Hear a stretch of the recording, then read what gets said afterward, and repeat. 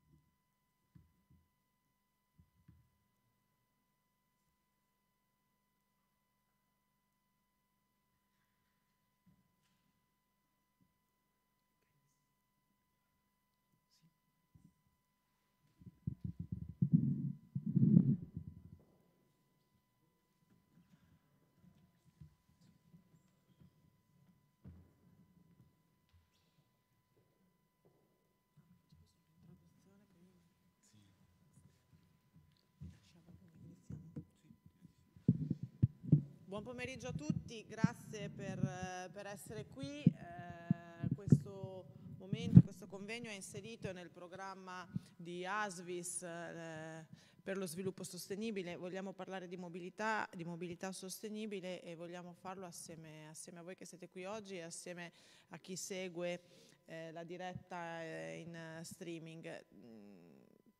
Perché parlare di mobilità sostenibile? Perché c'è tanto da fare perché su questo versante, su questo fronte abbiamo tante sfide come città da poter mettere in gioco.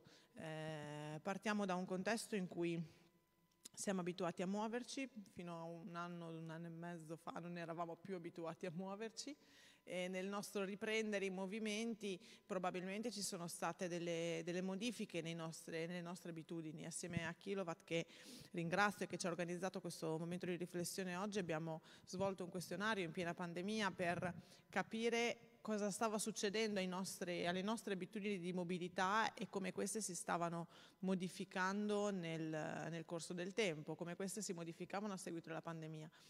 Oggi sono cambiate le condizioni, ma eh, credo e riteniamo che sia sempre più importante parlare di mobilità e parlare di mobilità sostenibile. Come amministrazione abbiamo eh, la volontà forte di creare le condizioni perché ognuno possa scegliere quale mezzo di mobilità eh, utilizzare. Quando usciamo di casa non deve essere scontato utilizzare l'auto a tutti i costi, ma dobbiamo creare le condizioni perché ognuno possa muoversi eh, a piedi, in bicicletta, col trasporto pubblico o con qualunque mezzo che possa rendere piacevole il viaggio, rendere il proprio percorso eh, un momento di, di, scoperta della città, eh, rendere il proprio percorso veloce, economico, sicuro, perché quando ci muoviamo abbiamo tutti sempre fretta e quindi creare le condizioni per muoversi in velocità anche eh, senza l'utilizzo dell'auto credo che siano eh, strumenti importanti. Abbiamo realizzato un progetto che è quello della bicipolitana che contiene una rete importante di ciclabili, eh, di 15 linee che sono sul nostro territorio che ci consentono di collegare le varie frazioni del nostro territorio col centro e coi punti di interesse principali della nostra città. Di questo eh, progetto abbiamo oltre 9 milioni finanziati nel piano investimenti perché l'obiettivo oltre alla progettazione è anche la realizzazione della più ampia rete possibile per consentire la ciclabilità come un punto importante del nostro, del nostro, mandato e stiamo lavorando sul trasporto pubblico per creare una rete di trasporto pubblico anche per le frazioni eh, e le campagne che ad oggi sono sprovviste di trasporto pubblico. Vogliamo rendere la mobilità uno strumento di intermodale per poter utilizzare più mezzi di trasporto lungo il proprio percorso e poter dare a tutti l'opportunità di muoversi in sicurezza e in velocità e in maniera confortevole. Questo non è sufficiente perché vogliamo lavorarci bene, vogliamo lavorarci rispondendo poi alle esigenze dei cittadini. Quindi quello che, di cui parleremo oggi è come renderlo sempre, rendere la nostra azione amministrativa sempre più vicina alle esigenze di ognuno e provare a farlo a 360 gradi attraverso azioni soft, azioni che siano anche di stimolo, penso ai progetti di bike to work, quindi di andare a lavorare in bicicletta, ai progetti di bike to shop, provare a incentivare chi va a comprare o a fare acquisti in bicicletta attraverso l'applicazione Io sono Cesena è possibile acquistare crediti, vincere crediti andando a fare acquisti eh, in bicicletta. Vogliamo farlo attraverso le nostre scuole, abbiamo attive numerose linee piedibus, direi almeno una per ogni plesso scolastico. Eh, abbiamo oltre 400 bambini che fanno il piedibus tutte le mattine con 200 accompagnatori che li supportano nel loro tragitto togliamo auto davanti alle scuole, ma educhiamo nuovi cittadini a muoversi in maniera più sostenibile e a capire come non sia indispensabile arrivare davanti al luogo di interesse con la propria auto, ma sia fattibile fare l'ultimo, l'ultimo miglio a piedi. Stiamo lavorando sulla logistica, abbiamo svolto un momento di confronto eh, un paio di settimane fa anche con le associazioni di categoria per comprendere come rendere più attrattivo il nostro centro storico attraverso una logistica e una consegna merci che sia meno impattante e eh, più sostenibile. Quindi anche questo è un tema secondo noi importante, perché poi vedete guardare, parlare di mobilità sostenibile e di ambiente spesso sembra un po' mh, mm, così da, da ehm, mi dire un po' fricchettone come tema, no? un po' eh,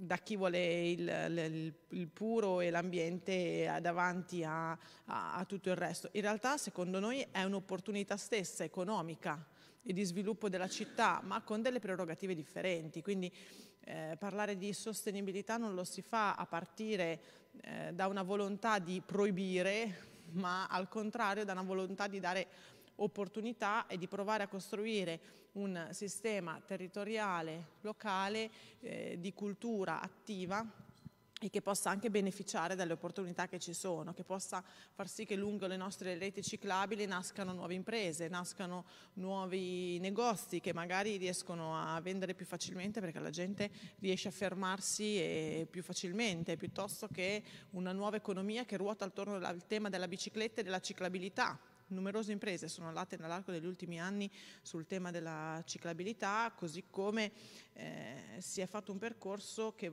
verte alla ciclabilità turistica e quindi alla creazione di una rete di eh, imprese e di esercizi che lungo tutta la vallata del Savio, attraverso il progetto Valle Savio by Cabo, possono vedere questo territorio più ricettivo anche dal punto di vista turistico, grazie alla eh, mobilità sostenibile e a servizi che si possono creare ci sono tante sfide che possiamo, che possiamo, cogliere e che vogliamo cogliere e eh, dobbiamo farlo insieme come, come, collettività perché ognuno possa fare il suo pezzo e ognuno possa mettersi in gioco e decidere qual è il disegno di città che insieme vogliamo, vogliamo fare.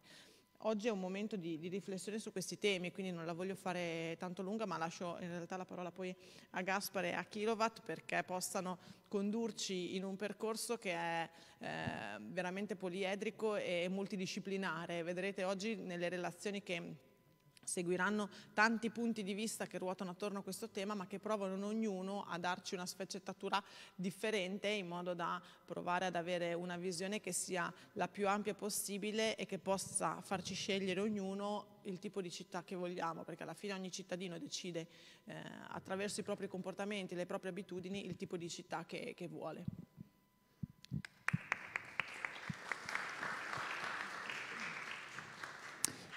Grazie all'assessora Lucchi. Allora, si parlava prima di, eh, intanto io sono Gaspare Caliri, faccio parte di Kilowatt, che è un'organizzazione che sta collaborando col Comune di Cesena sui temi della mobilità sostenibile eh, e non solo, adesso cercheremo un po' di andare in profondità su questa cosa, non voglio rubare troppo tempo con la mia presentazione.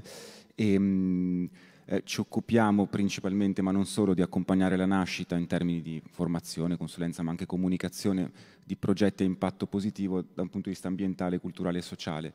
Ma appunto su questo torniamo dopo. E, um, si diceva prima come far diventare i temi ambientali, la questione della sostenibilità ambientale collegata alla mobilità, un'opportunità.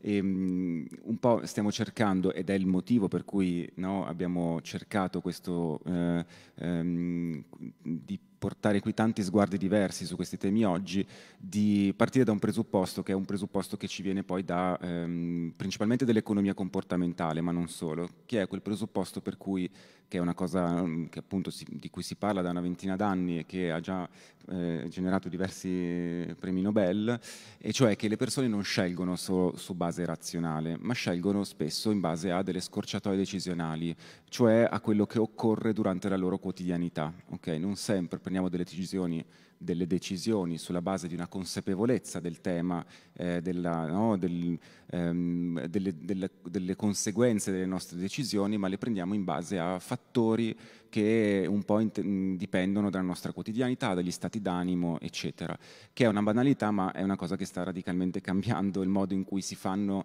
eh, diversi progetti, eh, ne, ne, vedremo alcuni dopo eh, ehm, avremo anche un inquadramento diciamo anche un po' accademico su questo tema dell'economia comportamentale a brevissimo, e, se riusciamo col collegamento, e, ehm, però appunto stiamo cercando di capire come, questo, ehm, come questa diciamo, riflessione attorno al modo in cui prendiamo le decisioni può avere poi un impatto, può avere poi un effetto su come si costruiscono anche le politiche pubbliche, le azioni, le iniziative pubbliche.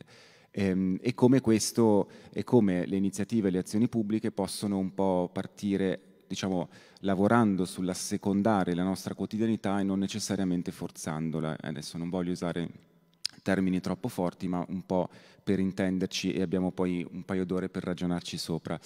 La prima parte di questo incontro, e do subito la parola a, a, Valentina Gianfrate, che è architetta e insegna, eh, docente anche di design all'Università di Bologna, membro di CRIC, eh, che, che, di nuovo anche, eh, lavora anche eh, ovviamente su questo territorio, un po' perché questi primi minuti eh, sono un po' pensati ehm, per contestualizzare analizzare perché parliamo di questi temi, cioè del rapporto tra eh, economia comportamentale, il, come far diventare abitudini comportamenti sostenibili e il territorio cesenate proprio perché abbiamo fatto un esperimento che racconto dopo eh, su questo territorio, ma anche perché ci sono diverse direzioni di lavoro. Sentivamo prima no, quante cose eh, eh, il Comune sta mettendo in cantiere, ha già messo in cantiere o ha già avviato eh, sul territorio appunto un paio d'anni fa eravamo in quel periodo di mobilità limitata eh, di regioni rosse, arancioni, eccetera, ehm, abbiamo fatto un'indagine fortemente qualitativa per capire eh, in un periodo in cui la gente si muoveva di meno ma faceva di più del, del, degli spostamenti più eccezionali, la passeggiata domenicale, il giro in bicicletta, non per lavoro, quindi non dentro la routine quotidiana, abbiamo, cercato, abbiamo chiesto tramite dei questionari qualitativi eh, a cui abbiamo ehm, eh, proprio su questo territorio di farci capire, auto-osservandosi, quali fossero i fattori che eh, facilitassero meno eh, diciamo, eh, il fatto di trasformare quei momenti molto rituali, molto speciali, molto relativi a un periodo preciso che speriamo anche di lasciarci alle spalle, come trasformarli però in abitudini, quindi quali sono i fattori di resistenza o che facilitano il fatto che alcuni comportamenti no, più di mobilità sostenibile da comportamenti saltuari diventino abitudinari. È un po' il cuore di quello di cui parleremo dopo do subito la parola a Valentina che magari ci dice eh, alcune cose che stanno facendo su questo territorio e poi ehm, proseguiamo nel, eh, iniziamo poi ad avere anche eh, tutti i punti di vista di cui parlavamo prima. Grazie. Funziona? Ok, grazie.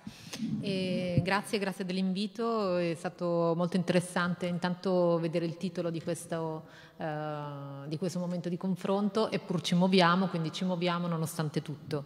E volevo prima di entrare nel uh, grande campo del cambiamento dei comportamenti per migliorare la sostenibilità, secondo me non sono soltanto i cittadini che devono cambiare i comportamenti, ma è anche la città, quindi non sono soltanto i cittadini in movimento, ma deve essere anche la città in movimento. Noi eh, grazie, ringrazio l'assessora Lucchi perché ehm, anche a noi come gruppo di, di, lavoro ha dato la possibilità di far partire un'iniziativa eh, molto piccola eh, però molto significativa perché ehm, di fatto è andata a intervenire eh, in un'area che è nel centro di tutta una serie di flussi eh, che, si gerano, che, si generano attorno ehm, alla zona della stazione, alla zona delle corriere, le scuole, quindi eh, flussi eh, incredibili che chiaramente sono a geometrie variabili perché poi dipende dall'ora del giorno e quindi questi flussi sono più o meno mh, in movimento.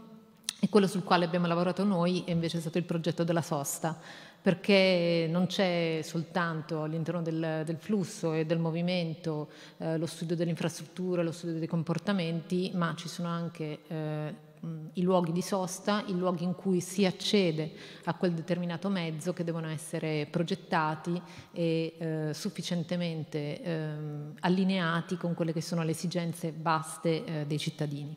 Per fare questo abbiamo sicuramente adottato un approccio, ehm, se vogliamo, sia eh, interdisciplinare, perché abbiamo lavorato un po' a cavallo fra quello che è il progetto architettonico e quello che è il progetto di città come servizio eh, di fatto, quindi abbiamo coinvolto anche l'unità di design dei servizi e eh, soprattutto abbiamo eh, capito che eh, nonostante il tempo molto breve, nonostante le risorse molto scarse, quindi eppur, eppur siamo riusciti comunque a generare un cambiamento. E, mm, tutto è partito il 27 maggio, abbiamo fatto un flash mob con gli studenti che sono poi i fruitori eh, principali eh, della zona dove siamo intervenuti e abbiamo chiesto di che cosa poi loro avessero bisogno e desiderio in quell'area. Ne sono venute fuori più di 300 risposte ehm, nel quale, nelle quali emergeva la necessità di luoghi di sosta sicuri, sostenibili, protetti, eh, nuove attrezzature urbane che eh, di fatto rendessero quella zona che è soltanto esclusivamente una zona di passaggio, anche distratto, in una zona dalla quale poi potessero partire anche nuove modalità di fruizione della città e nuovi eh, flussi, eh, forse anche più sostenibili. Tutto questo si è concretizzato dopo un primo incontro a luglio in due settimane di workshop, uno di progettazione e uno di autocostruzione e vi volevo mostrare un piccolo video, non, non del workshop in sé, ma dell'uso eh, dello spazio. È veramente velocissimo. Non so se si vede, no, non si vede. Forse si vede, lo facciamo ripartire. Questa è la zona che è davanti alle, a tre grandi licei della città di Cesena, dove abbiamo realizzato questo intervento di tactical urbanism che eh, a distanza di una settimana sua, dal suo completamento ha cominciato ad essere molto molto utilizzato. A questo poi lo faccio rifare, lo faccio rimandare. Okay. allora. Ehm, Ok, um, poi uh, la scorsa settimana mi ha mandato un video una, la professoressa uh, di, credo, di Sino dal Vero, che uh, mi ha mandato il video di, della lezione all'aperto che i ragazzi hanno fatto nell'area di progetto. Questo è stato per noi il risultato più importante e, che abbiamo raggiunto. Detto questo, che è un piccolo, un piccolo esempio, è anche una piccolissima... Ora. Grazie. Una piccolissima attività che abbiamo fatto nella città, questo per dire che ehm, questo per noi è un progetto tentativo all'interno di un mega intervento che interesserà quell'area e che però eh, molto spesso eh, non riesce a eh, tracciare quelle che sono le esigenze di tutti. Quindi l'invito è quando si fanno ormai interventi su scala urbana, sia legati alla mobilità, legati alla sosta, legati alla trasformazione in generale, di ragionare anche come una città in movimento, cioè che una città che è capace poi di adeguarsi ai cambiamenti eh, sia sociodemografici delle popolazioni che mh, arrivano, cambiano e mutano. I ragazzi di, eh, di questa generazione hanno sicuramente esigenze molto diverse anche rispetto a quelli che tre anni fa facevano le stesse eh, classi e le stesse, mh, avevano le stesse ehm, aree di frequentazione. Quindi tenere traccia di tutto questo è sicuramente fondamentale per riuscire ad applicare un approccio intersezionale alla progettazione. Che cosa vuol dire? Vuol dire riuscire a eh, considerare non soltanto eh, target eh, statistici, ma andare a vedere effettivamente che cosa desiderano le persone in città, che cosa desiderano gli studenti, i ragazzi, in un approccio che un po' si dovrebbe distanziare da quelli che sono stati gli ultimi sei secoli di eh, progettazione urbanistica, in cui il progettista urbanista era sempre maschio, bianco, eccetera, e che progettava le città senza pensare magari che questo eccessivo allontanamento tra residenziale, luoghi dove si lavora, luoghi per il verde fosse la soluzione eh, maggiormente rispondente alle necessità di flusso e di movimento delle persone.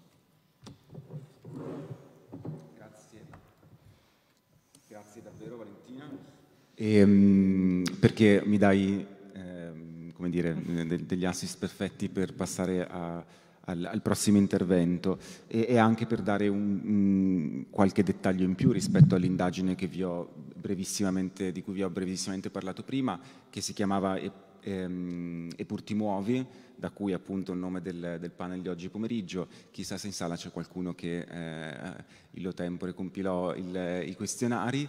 E, mh, a, proprio in quel caso partivamo da una questione anche ehm, legata a cosa, cosa, quali, come, come, funziona la generazione dei dati che poi permettono di avere eh, gli elementi che servono per progettare, per progettare eh, mh, a, a, livello architettonico, urbanistico, a livello di appunto, politiche, azioni, misure, iniziative pubbliche.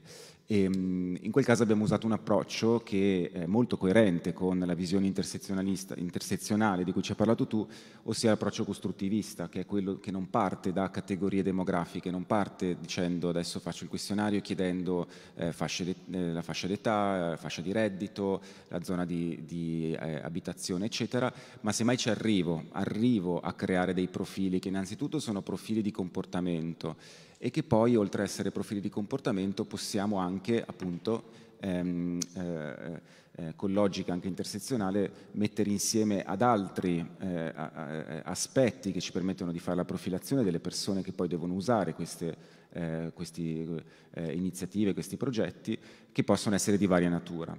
E, mh, quanto vi dicevo poco fa rispetto all'economia comportamentale è quello che eh, ora ehm, chiediamo un po' di introdurre al professor Riccardo Viale, che è professore di ehm, a Milano, in Bicocca, ed è direttore di un master che si occupa proprio di eh, nudging, scritto nudging. Eh, che cos'è il nudging? È proprio quella teoria che parte un po' da, eh, è quella teoria, ma è quella pratica ormai molto diffusa a livello internazionale, non tanto diffusa, o meglio di questo ne chiediamo, chiediamo conto al professor Viale, ehm, in ambito ambientale, ok? Eh, è quella teoria per cui ehm, anziché proprio alla luce dell'economia comportamentale, alla luce del fatto che è meglio assecondare la quotidianità delle persone piuttosto che forzarla certi, per certi versi, si, trovano, si cerca di progettare delle soluzioni che entrino un po' nel flusso proprio no, della nostra quotidianità. Tant'è vero che diciamo nudging, la traduzione più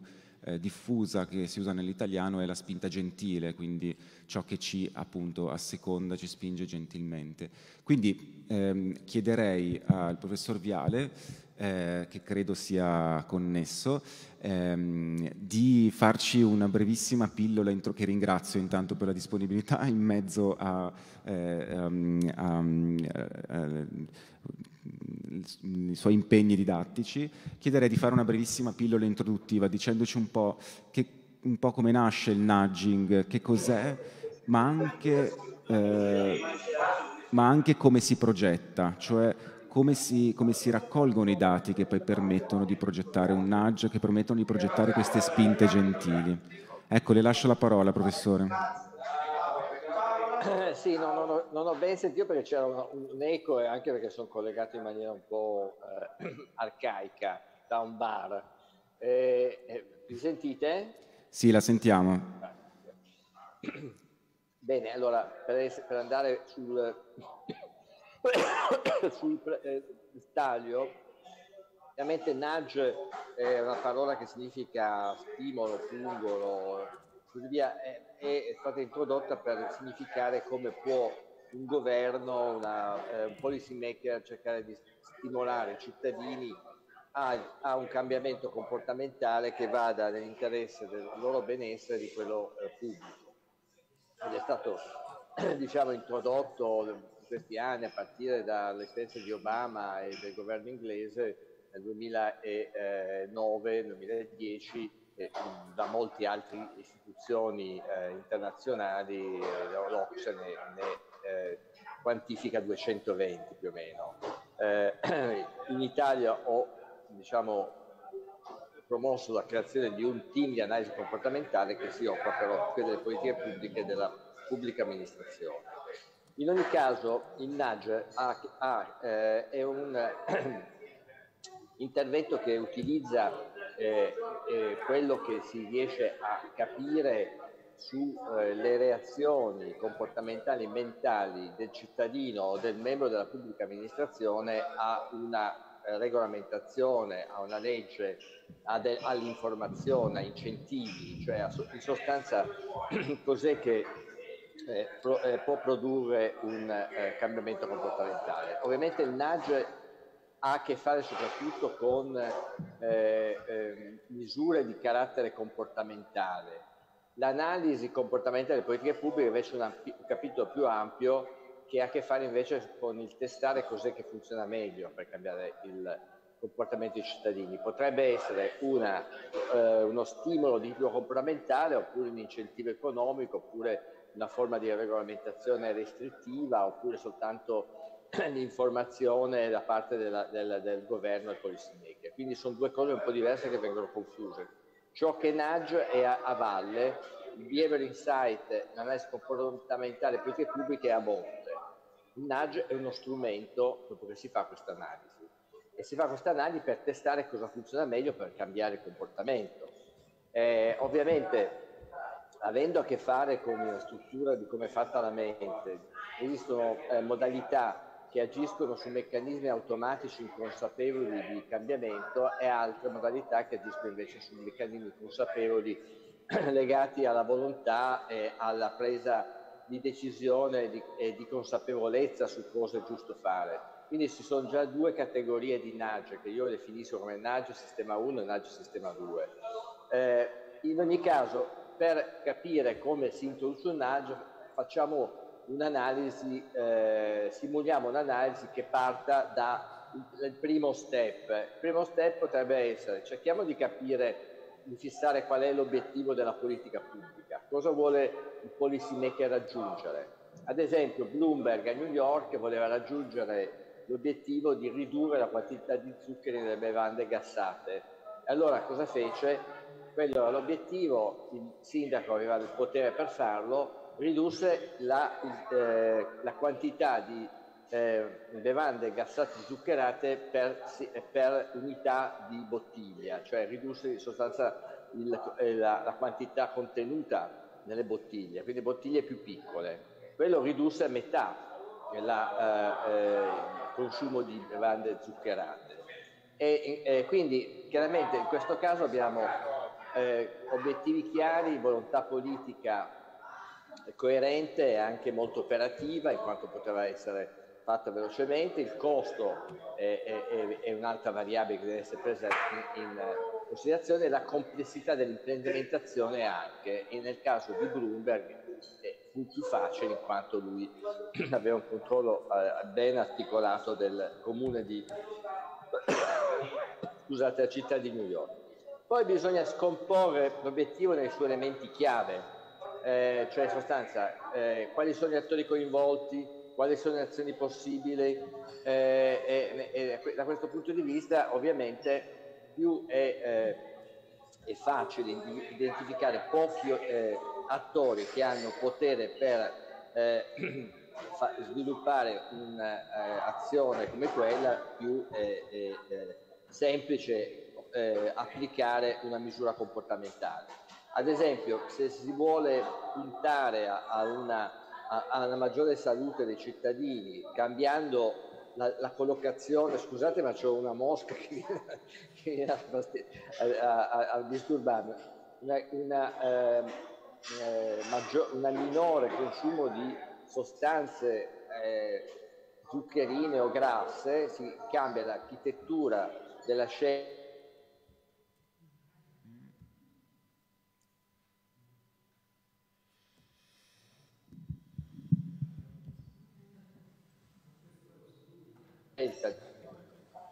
mi sentite?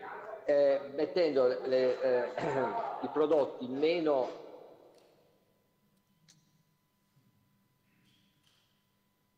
eh, eh, diciamo zuccherini e meno grassi a livello del, diciamo, del rapporto fra eh, ad angolo possiamo dire di 90 eh, gradi dell'asse della vista rispetto al, al, al prodotto stesso cioè che sia in sostanza a, a, eh, posizionato davanti agli occhi, mentre quelli meno eh, salubri vengono messi in, in, alto, lontani dalla vista. Quello è una cosa che è stata attuata in alcuni supermercati, ovviamente in, da questo punto di vista c'è bisogno di, di un coordinamento con, tutto il, con l'operatore, con il gestore dei supermercati così.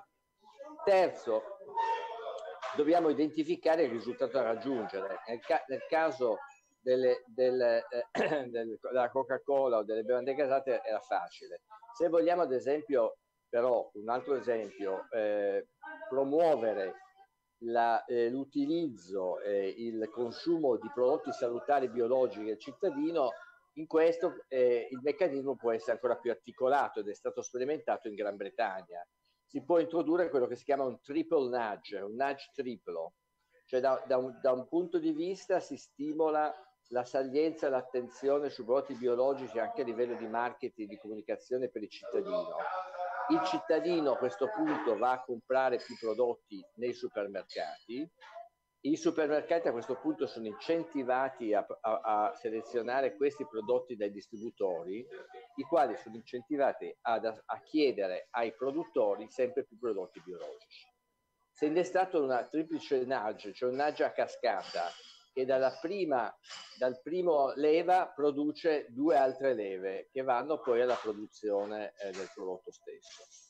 Eh, ovviamente per fare tutto ciò bisogna mappare i comportamenti rilevanti. Comport- mappare i comportamenti rilevanti sono quelli, ad esempio, del, di come riuscire a informare il cittadino e come lui eh, eh, sulla base di informazione va a scegliere certi prodotti, come il eh, gestore del supermercato o della catena di distribuzione considera e sa eh, diciamo, eh, analizzare l'importanza di questo aumento della domanda e sa dargli quindi un, eh, una responsabilità e quindi da quel punto di vista lì cerca ancora di migliorarla e tutto ciò può essere anche fatto attraverso analisi qualitativa, focus group e così via per riuscire a capire quali sono i comportamenti rilevanti. Quinto step è identificazione dei fattori che influiscono sui comportamenti rilevanti. Se questi sono i comportamenti rilevanti, come come riusciamo a stimolare questi comportamenti, ad, ad amplificarli, a rafforzarli?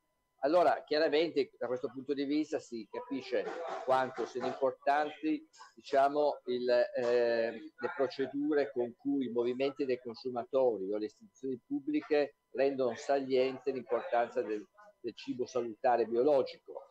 Quindi da quel punto di vista lì fattori che rafforzano l'importanza di quel, di quel cibo e a cascata questo ovviamente produce eh, poi dopo un aumento del consumo, l'aumento del consumo produce un aumento della richiesta da parte dei supermercati alle catene di distribuzione, le quali stimolano i produttori a aumentare la quota di eh, cibo biologico. Eh, poi sesta, sesto aspetto è la eh, scelta di alcuni comportamenti prioritari su cui concentrarsi. Ovviamente in questo tipico situazione è la disclosure, il rendere eh, evidente, chiaro a tutti qual è, diciamo, la, eh, quali sono i prodotti biologici, perché, perché fanno bene, dove si trovano i prodotti biologici. Eh, quindi re- realizzare una comunicazione corretta, in maniera capillare e saliente ai cittadini che, vengono, che sono già sensibilizzati sul tema.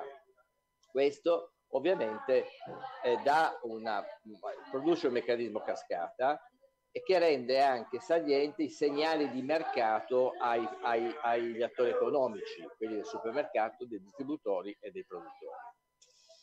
Ovviamente possono essercene, eh, diciamo, eh, eh, si deve in altri casi, per esempio quando si è sul consumo, sull'energia, eh, il consumo di energia nelle case, possono essere vari i comportamenti su cui concentrarsi. Ad esempio, come è stato fatto, in America un tipo di meccanismo era eh, creare dei feedback cioè su, su quanto si consumava energia a casa, oppure utilizzare le norme sociali mandando alla, alla famiglia eh, la descrizione del consumo dei, dei, vicini o la media del consumo delle persone che abitano vicino a te. In questo modo eh, uno poteva avere eh, la sensazione che stava consumando troppo. Con i feedback si rendeva conto quando e quello lo poteva portare a cercare di eh, eh, eh creare delle situazioni anche all'interno tecnologiche all'interno della casa, ad esempio eh, utilizzando cambiando le lampadine come si sta facendo adesso in Italia, che è il, ma- che è il maggiore fonte di consumo energetico nelle famiglie, molto più che spegnere la luce. Questa è una, una recente ricerca fatta dalla Columbia University, in cui si, si, è visto che lo stereotipo del consumo di energia in genere in America, ma anche qui in Italia lo stesso, è che basti spegnere la luce perché ci va di meno, mentre il maggiore consumo è dato dalle lampadine, quelle ad alto consumo che devono essere sostituite, o da eh, elettrodomestici ad alto consumo che sono stati comprati prima che venissero fatti gli elettrodomestici eco. Quindi anche lì il discorso della percezione di cosa è importante o meno è, è fondamentale per capire su che leva poi dopo agire. In ogni caso, la, eh, da, da, questo nasce, da, questi, da queste eh, eh, analisi nasce l'intervento comportamentale che è guidato ovviamente dall'evidenza. Eh, nella prima fase si fa una fase sperimentale su un campione piccolo, si introduce ad esempio in un campione piccolo, in una piccola parte della città, una serie di eh, messaggi che rendono salienti l'importanza dei, dei prodotti biologici e si vede che cosa succede come conseguenza. Ovviamente tutti gli interventi devono seguire l'acronimo che ha, ha, introdotto David Alpern, il direttore del Behavior Site Team di Londra. L'acronimo è EAST, devono essere easy, attractive, eh, social, cioè devono basarsi sulle eh, eh, diciamo, lo stimolo da parte del comportamento altrui and timely, cioè fatti nel momento giusto. Il tempo è fondamentale. Dopo la fase sperimentale, se sia successo, si passa all'implementazione. Ovviamente l'implementazione, in questo caso, è un'implementazione di un tipico nudge. In altri casi, dopo l'analisi, si può benissimo dire eh, non c'è nessun nudge che, ci, che, che funzioni, dobbiamo dare dobbiamo porre degli obblighi, degli obblighi eh, restrittivi.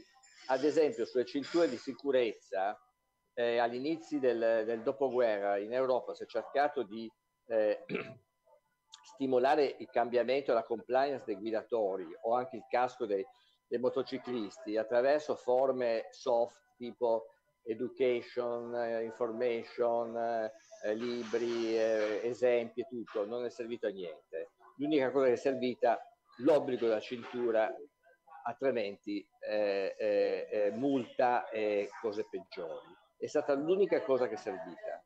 Talvolta gli stimoli comportamentali soft non servono, ci vogliono le regolamentazioni restrittive. E quella è un esempio che eh, se fosse stato adottato subito, un'analisi comportamentale di cosa era efficace, probabilmente in Europa l'avrebbero deciso prima e si sarebbe evitate molte morti che ci sono state.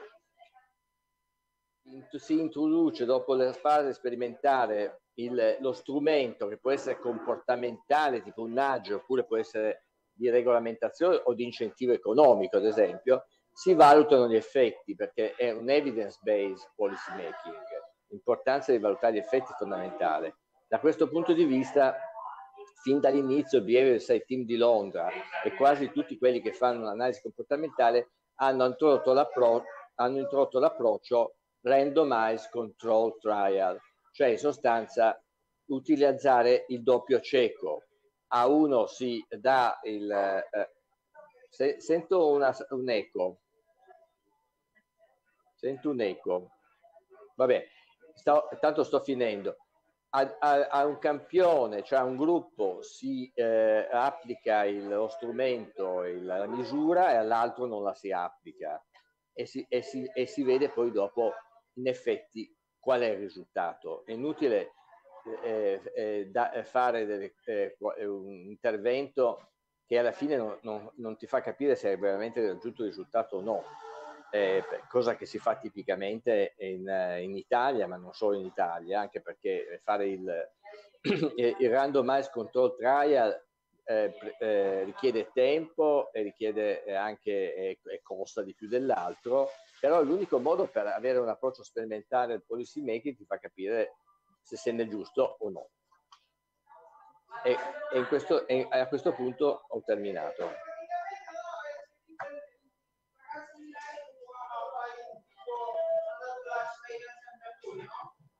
Sì, grazie mille professore. Eh, ha, dato, ha, messo in fila una serie di cose che ci aiuteranno un po' a guidare il pomeriggio. Sappiamo che deve tornare... Non sento niente.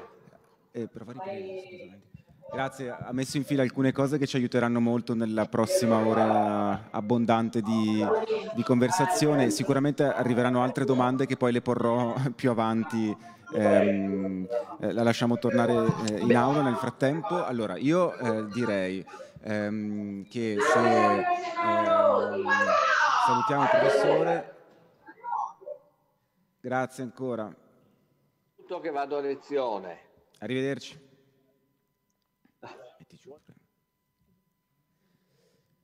Ok, dicevo, ehm, provo a fare un po' di sintesi e poi chiederei a, um, agli altri relatori di raggiungerci qui, eh, quindi Pietro Minto che mi aiuterà con la moderazione, Stefano Mirti ehm, che è direttore... Eh, noi restiamo direi, non so Francesca se vuoi...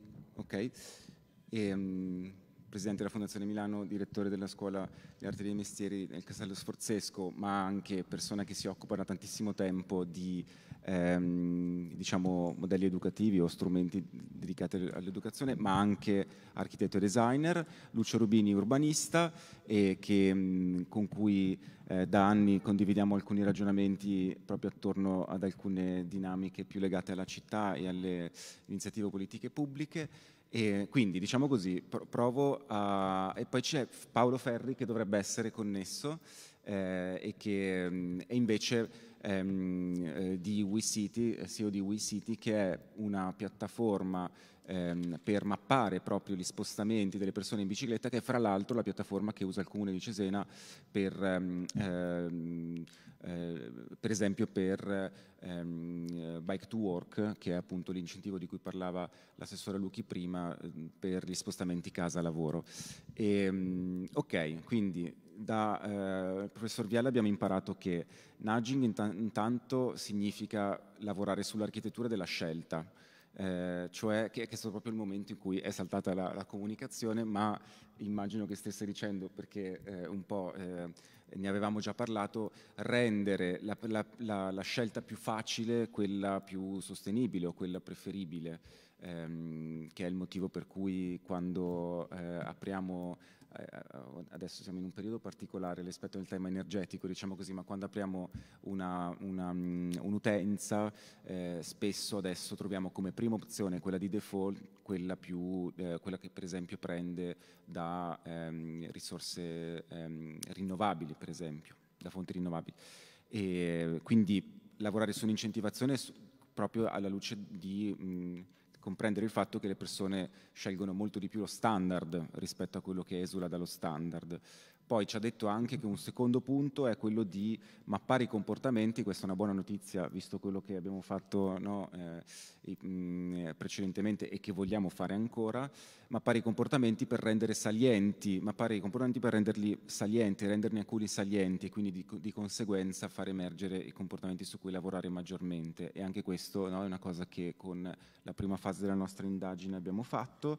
Poi c'è un'altra cosa che ehm, mi sono segnato e cioè stimolare un po' lo spirito di imitazione eh, no? quella cosa di se fai vedere cosa fa il vicino è più facile che eh, eh, anche questo è, è nudge comportamentale e poi ehm, le ultime due cose, mh, probabilmente la mia sintesi no, sarà diversa da, dalle vostre, quindi vi invito anche magari a, a, far venire fuori nel dialogo che faremo fra poco anche i vostri eh, appunti. Ehm, iniziare da una piccola parte di città, per esempio, se si vuole mh, introdurre un'iniziativa di, di, di nudging, questo tipo di lavoro appunto su, eh, sui comportamenti delle persone, ma anche iniziare da una piccola parte di città e di nuovo eh, avere degli indicatori di successo di come si fa atterrare un'iniziativa su quella piccola parte di città, perché un po' come si dice ehm, no? Nel, nell'approccio Lean, eh, che è un approccio sempre che è molto utilizzato in ambito progettuale, organizzativo,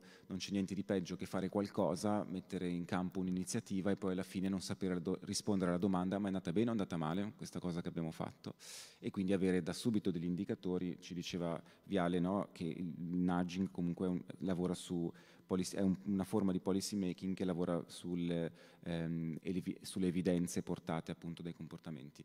Ora io direi che lascio la parola a Pietro ehm, che abbiamo invitato come figura un po' intermedia tra relatore e mediatore, ehm, anche perché di recente ci ha molto appassionato il, un, un, libro che ha scritto, eh, di cui magari ti chiederei di dire due cose, eh, che lavora sicuramente su ehm, ehm, gli strumenti per entrare nel nostro flusso di quotidianità. Ecco. E, e, quindi ecco, ti lascerei la parola e poi aprirei il dialogo. Eh, grazie. Beh, allora, eh, buongiorno a tutte e tutti. Eh, io sono Pietro Minto e come appunto diceva Gaspari, Gaspare, eh, beh, scrivo, mi occupo per lo più di tecnologia e mondo digitale e, e ho scritto anche un libro che, chiama, eh, che ha a che fare con le nostre abitudini digitali e il modo in cui insomma, tutto quel mondo lì ha una grande influenza nel nostro quotidiano, anche inconsciamente, che è una cosa che appunto ritorna in quello che è stato detto. Il libro si chiama Come annoiarsi meglio e parla anche proprio de, della riconquista, di questi tentativi di riconquistare eh, il controllo del proprio tempo, del, insomma, delle proprie azioni in alcuni casi.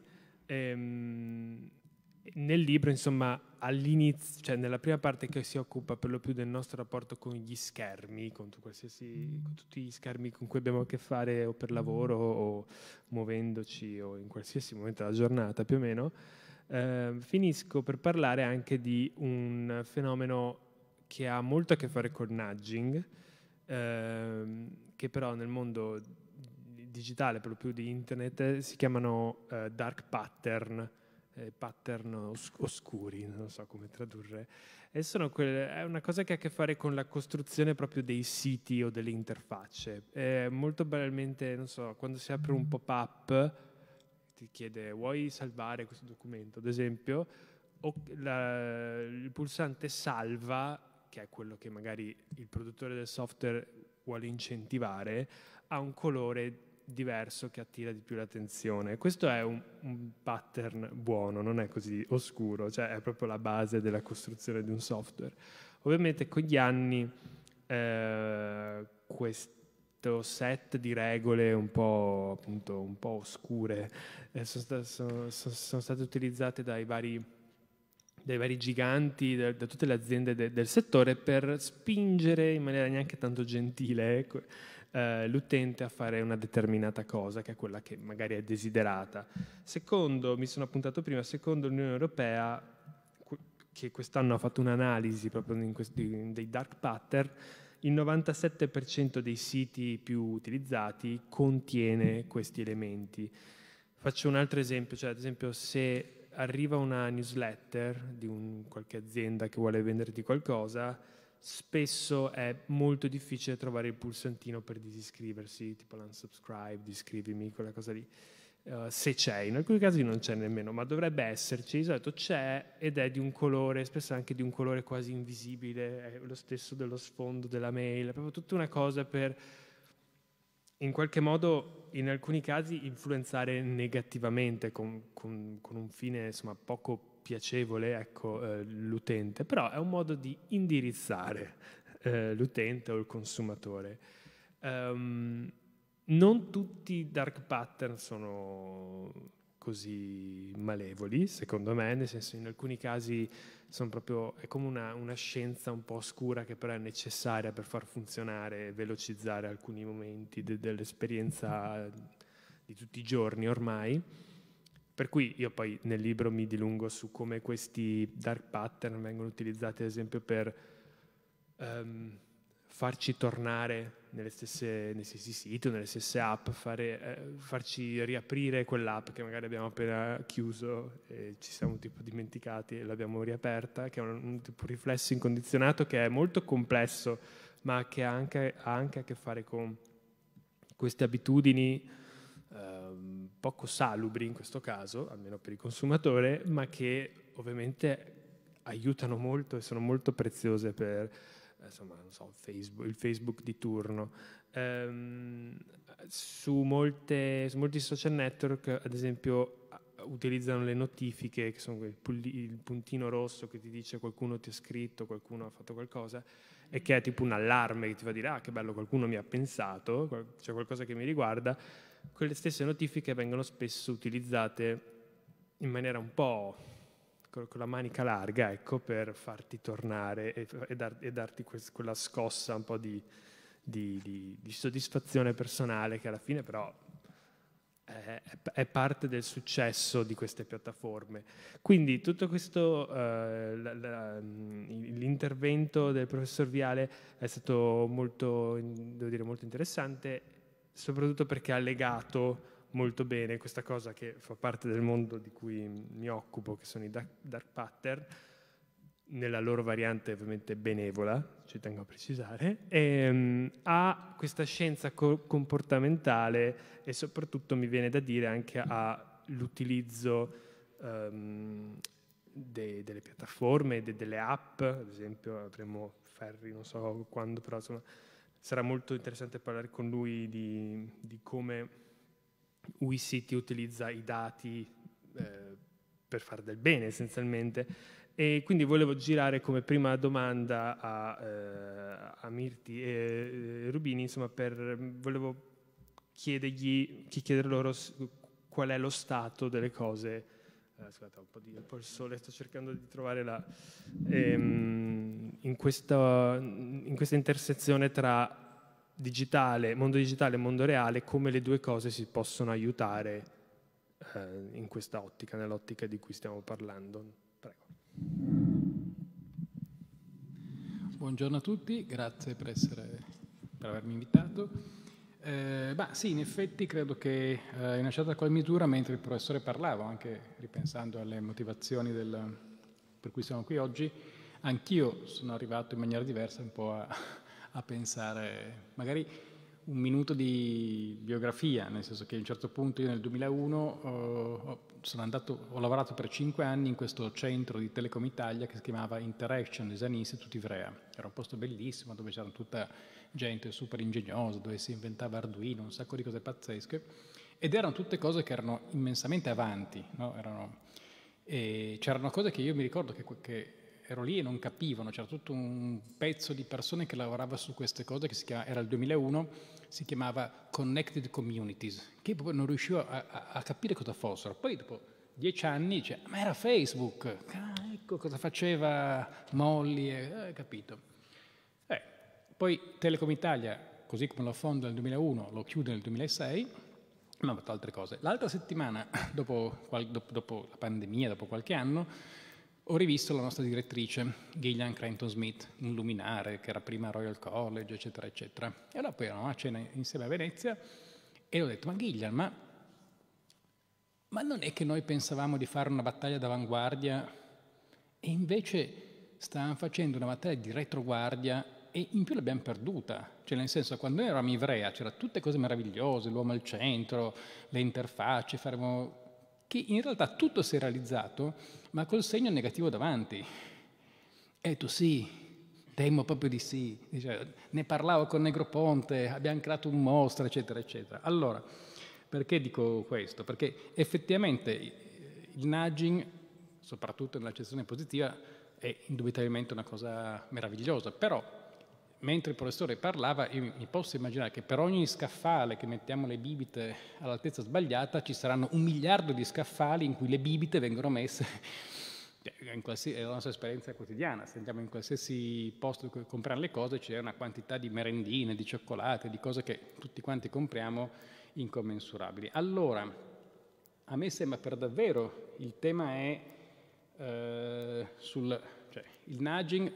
Eh, fa andare avanti le nostre vite. Temo però che per ogni elemento, per ogni bicicletta che noi siamo spinti, io effettivamente in maniera personale a un certo punto ho capito che il mio telefonino contava i passi, mi sembrava una cosa meravigliosa, poi c'era l'app che poi quando, quando cammino tot passi nella giornata diventa verde ed è bellissimo, per cui mi dà una spinta pazzesca a camminare. Nel contempo però lo stesso telefonino, come suggeriva Minto, ha una quantità di cose spaventose di cui sono preda, di scrolling infiniti, eccetera, eccetera. Allora la, la domanda forse è uh, se, uh, se, il, se, il, nudge uh, E cioè, se noi fossimo nel, nel, in quelli che sono evil, nei cattivi, il mio amico Walter che lavora da booking.com, lui passa il tempo a fare queste cose che diceva Minto, ma se noi cambiamo il bottone, facciamo un po' più grande, un po' più piccolo, un po' più verde, un po' più giallo, sposto alla sinistra, sta a vedere che la gente spende di più. Per cui se noi fossimo al booking.com oh, mi sembrerebbe perfetto. Se noi siamo invece in un'altra sede, Può essere invece che forse le tradizionali modalità restrittive, tipo da domani basta fumare, eh, da domani nessuno può più fumare nei locali pubblici, siano più efficaci, più efficienti? Questa so, è, è, una, domanda che faccio. L'altra cosa che chiedo qui alla collega, che ho lavorato qualche anno fa al piano di servizi della città di Milano, effettivamente il tema del desiderio è un tema forte, cioè c'è una, c'è una tradizione urbanistica che è novecentesca dove la città si costruisce i servizi si costruiscono a partire dalle necessità, che tutto sommato è comodo, cioè la città non ha il parco, non ha l'ospedale, se uno dice facciamo il parco nessuno può opporsi, cioè se non c'è l'ospedale, se non c'è la scuola. Ma se invece la città contemporanea, avendo a grandi linee soddisfatto tutta una serie di necessità impellenti, va avanti a colpi di desideri, lì ci ficchiano i pasticci, perché poi tendenzialmente io, il desiderio di uno non coincide sempre e soprattutto la domanda è, ma e, e quando poi il desiderio non è positivo? Cioè quando poi il desiderio non è, eh, eh, che cosa succede? Cioè, la, la, costruzione della città attraverso i desideri, chi stabilisce quali sono i desideri eh, leciti, non leciti, che ci piacciono, che non ci piacciono, eccetera, eccetera. Che di nuovo, secondo me, quello è un tema interessante. Mm, credo, infine, eh,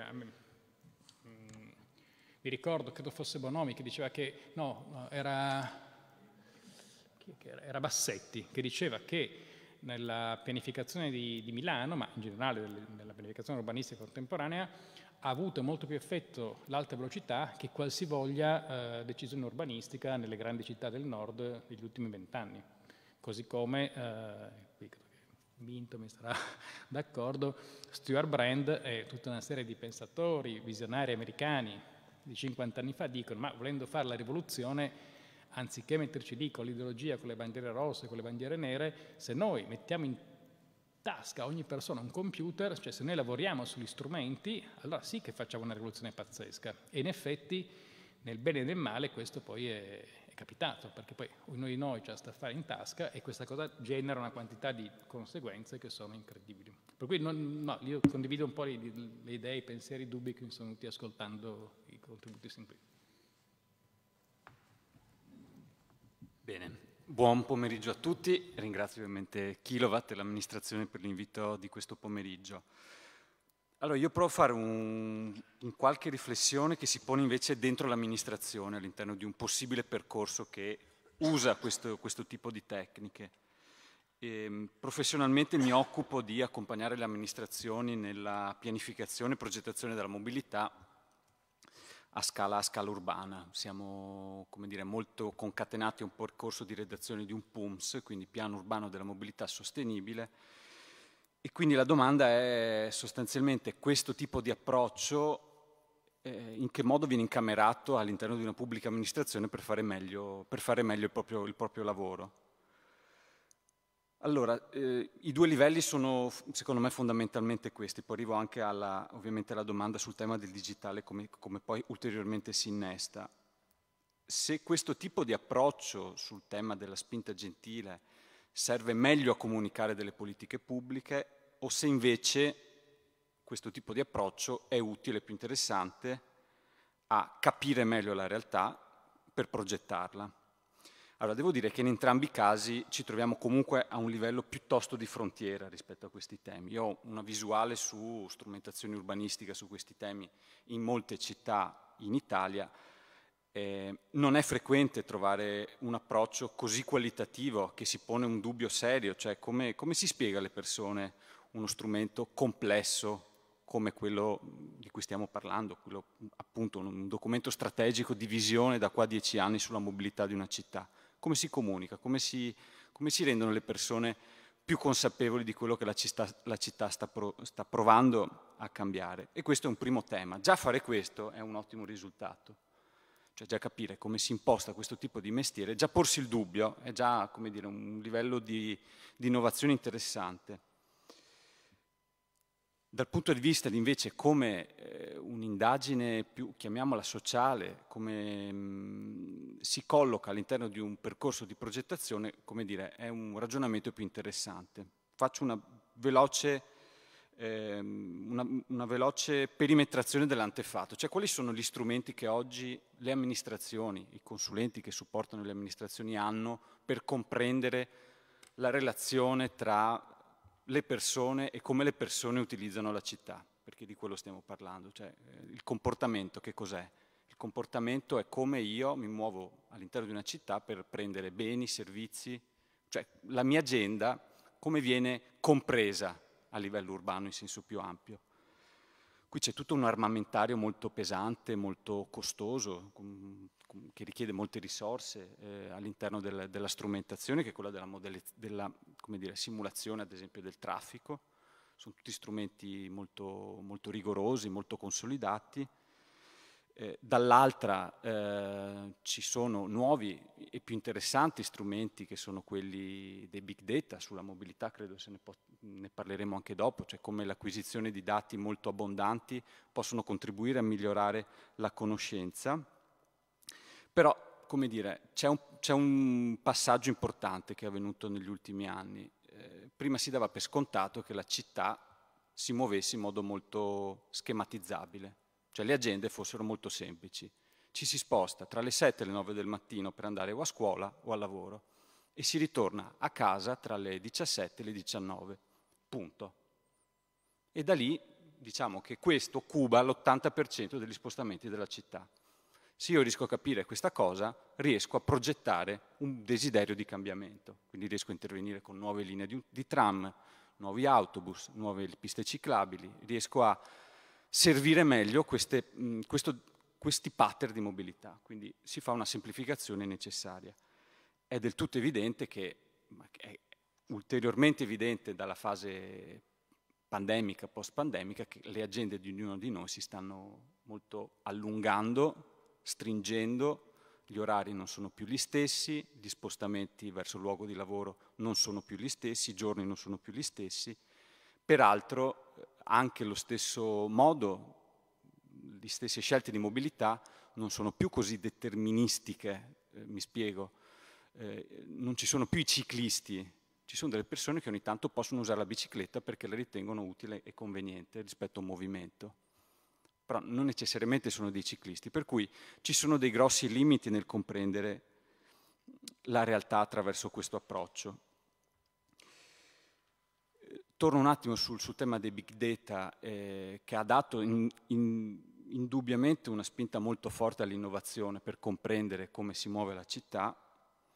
C'è però un problema che le amministrazioni si trovano oggi a comprare questi dati a caro prezzo, per cui c'è una mole sterminata di dati sulla mobilità, ovviamente il problema non solo per la mobilità è selezionarli, ma non sono, non sono dati free, non sono dati gratuiti, per cui è strano che un'amministrazione oggi vada a comprare da un operatore telefonico o da una compagnia assicurativa dei dati prodotti dai cittadini, comprare dei dati che evidentemente non hanno uno scopo commerciale.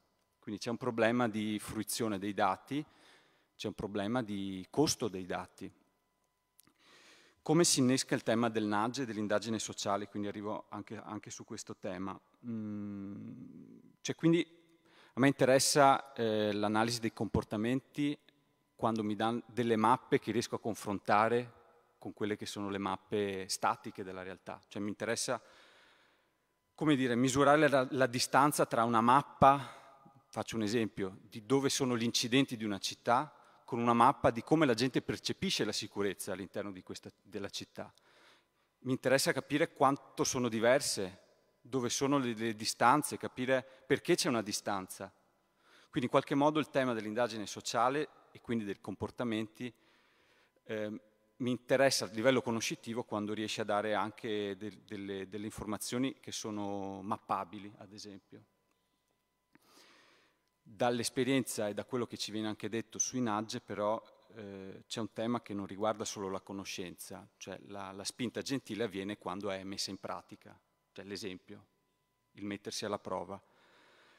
però a quel punto ehm, usciamo forse da un perimetro che è la pianificazione e si entra in un altro perimetro che è quella che è la realizzazione delle politiche urbane e quindi che è un approccio di come dire, realizzazione di politiche, di fare come dire, un piano mette su carta un'idea, un, ne indica le modalità di realizzazione, mette su carta il desiderio di cambiamento.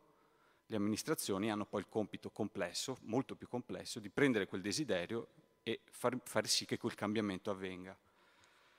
Quali sono le partite poi giocabili? Sono quelle tradizionali, per cui c'è il, il tema della, chiaramente della gestione della mobilità mh, con, negli spostamenti casa-lavoro, per cui il lavoro con le aziende o con le scuole.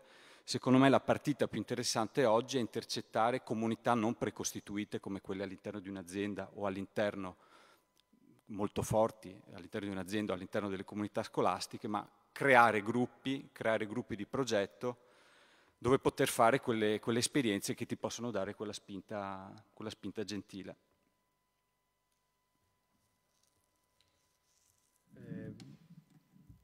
Eh, grazie mille a tutti. Eh, no, sì, sono, eh, è, è, vero che in effetti porsi alcune delle domande che, ci, che si, siete, ci siamo posti oggi, che sono alla base di questo incontro, è credo un segno di, di, di, di maturità rispetto a, a, questi temi, non è un modo di affrontare i temi in maniera diciamo, su, superficiale. Un altro punto che um, secondo me è collegato a appunto, quanto detto finora e che magari, eh, beh, magari lo affrontiamo meglio con Ferri dopo, ma il, ehm, l'utilizzo di alcuni servizi, ad esempio l'app uh, WeCity che, e, e, e, altri esempi, di WeCity magari parliamo dopo, mi ha ricordato il fenomeno della gamification, cioè del trasformare in gioco delle cose, cioè tras- prendere dei tratti tipici dei giochi o dei videogiochi, insomma in generale, ludici, ecco, e applicarli alla vita reale. Nel caso di WeCity, appunto, se, fai, se vai in giro in bici e eviti quindi di usare la macchina o comunque ti sposti in modi sostenibili e migliori, hai dei punti. Questo ce lo, ce lo facciamo spiegare eh, meglio dopo. Ed è, secondo me, Uh, è, è, proprio la parte, tipo, la parte buona, dei, è, il risvolto buono, diciamo il riflesso buono del, dei dark pattern di, di, di, prima, nel senso che è un modo di consegnare, um, consegnare diciamo, il, il, tema nelle mani dei, dei consumatori, degli abitanti, eh, però dandogli la possibilità di ricavarne in qualche modo insomma, dei punti che poi possono trasformare in um, in, insomma, in, in, altri servizi. Um, non so che, a che punto ci sarà la cosa con Ferri. Ah, è qua, lui, quando vogliamo c'è. Ah, ok. Ma se vogliamo un po' facciamo noi le domande sì, o... Sì. Ah, ok, perfetto. Io, io ci sono. Ah. Bu- buonasera a tutti. Vi stavo ascoltando con molto interesse da, da, da, di, già da, insomma, dall'inizio della, eh, dell'incontro, quindi sono qui. Ah, ok, beh, piacere. E, beh, chiederei quindi sì, di raccontare un po' eh, l'esperienza eh, di, di WeCity in generale e appunto magari dire due parole su questa gamification, diciamo, o come, insomma, di raccontare certo. la tua esperienza. Grazie. Sì, beh, allora intanto due parole su WeCity. WeCity è un applicativo pensato proprio eh, per risolvere eh, uno dei problemi che avete accennato un attimo fa, no? cioè mettere a disposizione delle amministrazioni eh, dei dati, in questo caso dei dati di, di mobilità, eh, e eh, diciamo farlo in maniera economica e insomma già diciamo nelle modalità che poi mh, sono più comode da utilizzare, per esempio in questo caso a fini urbanistico-pianificatori o anche semplicemente per prendere eh, decisioni basandosi anche sui dati. No? I dati non devono eh, per forza essere diciamo, l'unica stella polare che si segue, però è chiaro che permettono diciamo, ai diversi stakeholder magari a volte di superare dei, eh, delle convinzioni, dei, dei bias, no? come si dice adesso, che potrebbero essere fuorvianti.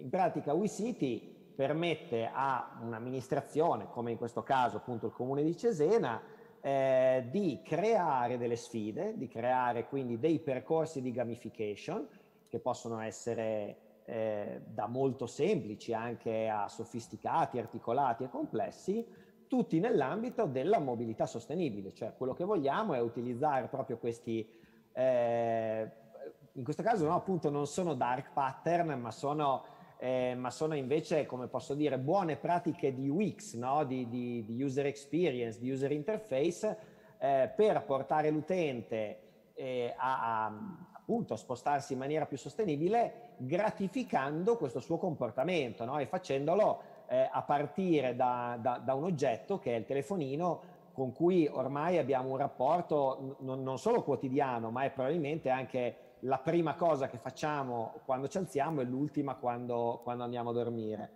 E, ehm, e quindi, per esempio, no, già tanto per farvi un esempio, perché poi è una cosa che mi piacerebbe mostrarvi tra un attimo, eh, oltre al fatto che eh, insieme al comune di Cesena diciamo, eroghiamo un incentivo, il famoso incentivo chilometrico, no? i 20 centesimi di euro al chilometro per tutti gli spostamenti in bici lungo il tragitto eh, casa-lavoro, facciamo anche un'altra attività che è quella per esempio di chiedere eh, alla fine di uno spostamento in bicicletta di lasciare una recensione. No? Prima citavate Booking, citavate esempi di questo tipo e, e quindi beh, vedete che anche noi cosa abbiamo fatto? Abbiamo sostanzialmente utilizzato un linguaggio che è già ampiamente diffuso e già, è già conosciuto, cioè quando chiedo una recensione eh, e immediatamente eh, una stella, due stelle, tre stelle, quattro stelle, cinque stelle, no? È, è, una, è un meccanismo eh, quasi, eh, diciamo, automatico eh, che io capisco immediatamente, che io utente capisco immediatamente senza che ci sia bisogno di particolari spiegazioni. E la differenza appunto la fa poi, eh, se vogliamo ottenere delle, delle eh, come posso dire, no? delle informazioni utili a tutti o se eh, come diciamo eh, organizzazione vogliamo poi eh, utilizzare queste informazioni semplicemente per aumentare il profitto.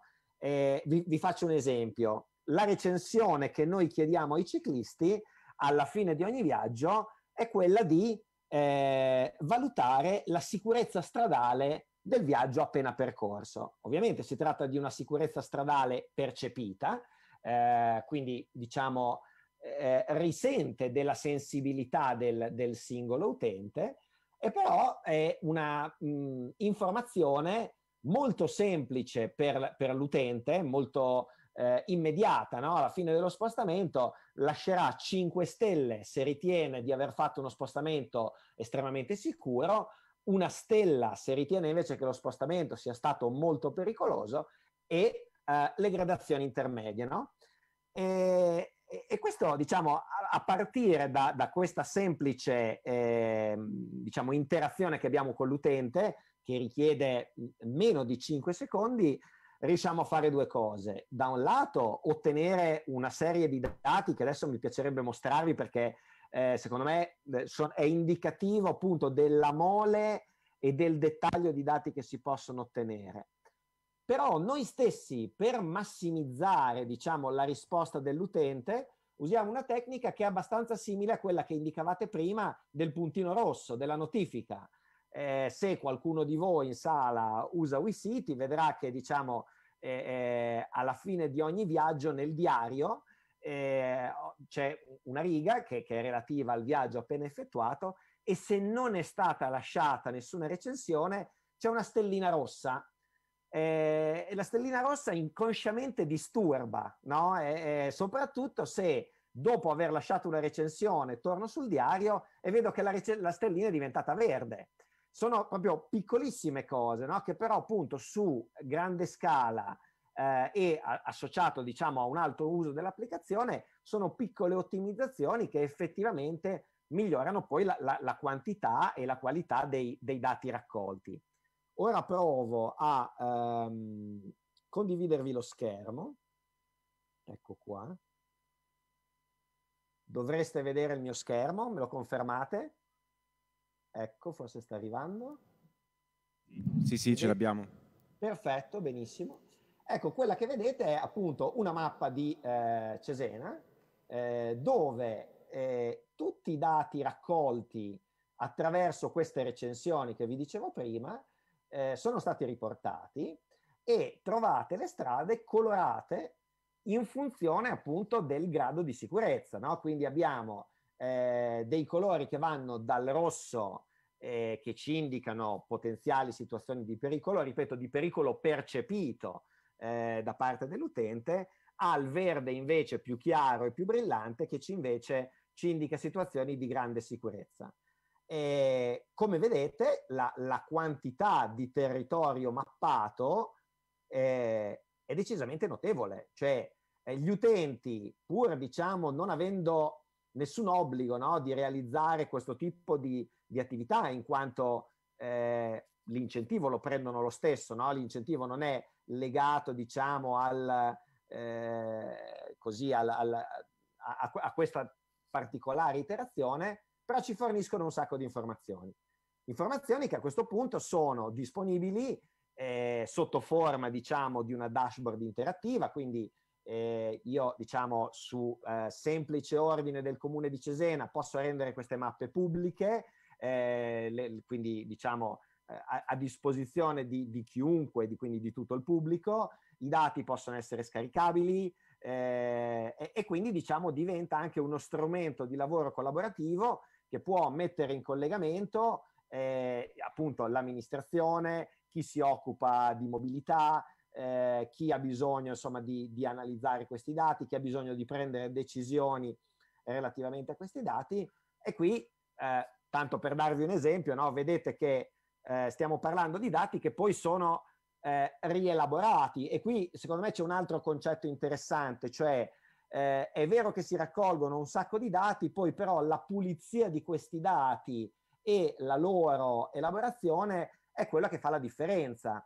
Eh, se avete usato qualche volta insomma delle, delle, applicazioni anche per andare a correre, per, eh, per, tenere traccia delle prestazioni sportive, vi sarete accorti che i punti GPS no, che il telefono raccoglie eh, risentono ovviamente della precisione del GPS in quel momento e quindi eh, possono essere parzialmente dentro un edificio, dal lato opposto della strada.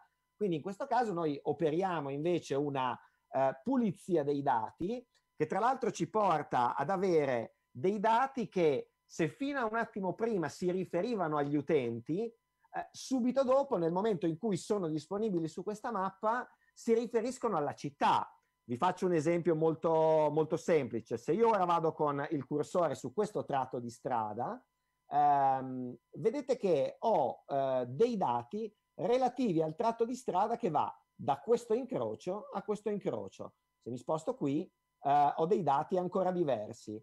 Eh, quindi cosa vuol dire? Vuol dire che abbiamo aggregato i dati provenienti dai vari utenti, eh, abbiamo calcolato una valutazione media, vedete che per esempio questo vicolo della stazione è stato recensito 35 volte, proprio come potrebbe essere, come potremmo aver fatto appunto per una pizzeria o per una camera di booking, e ha una valutazione complessiva di 4.7 su 5, quindi in questo caso una, una valutazione molto alta.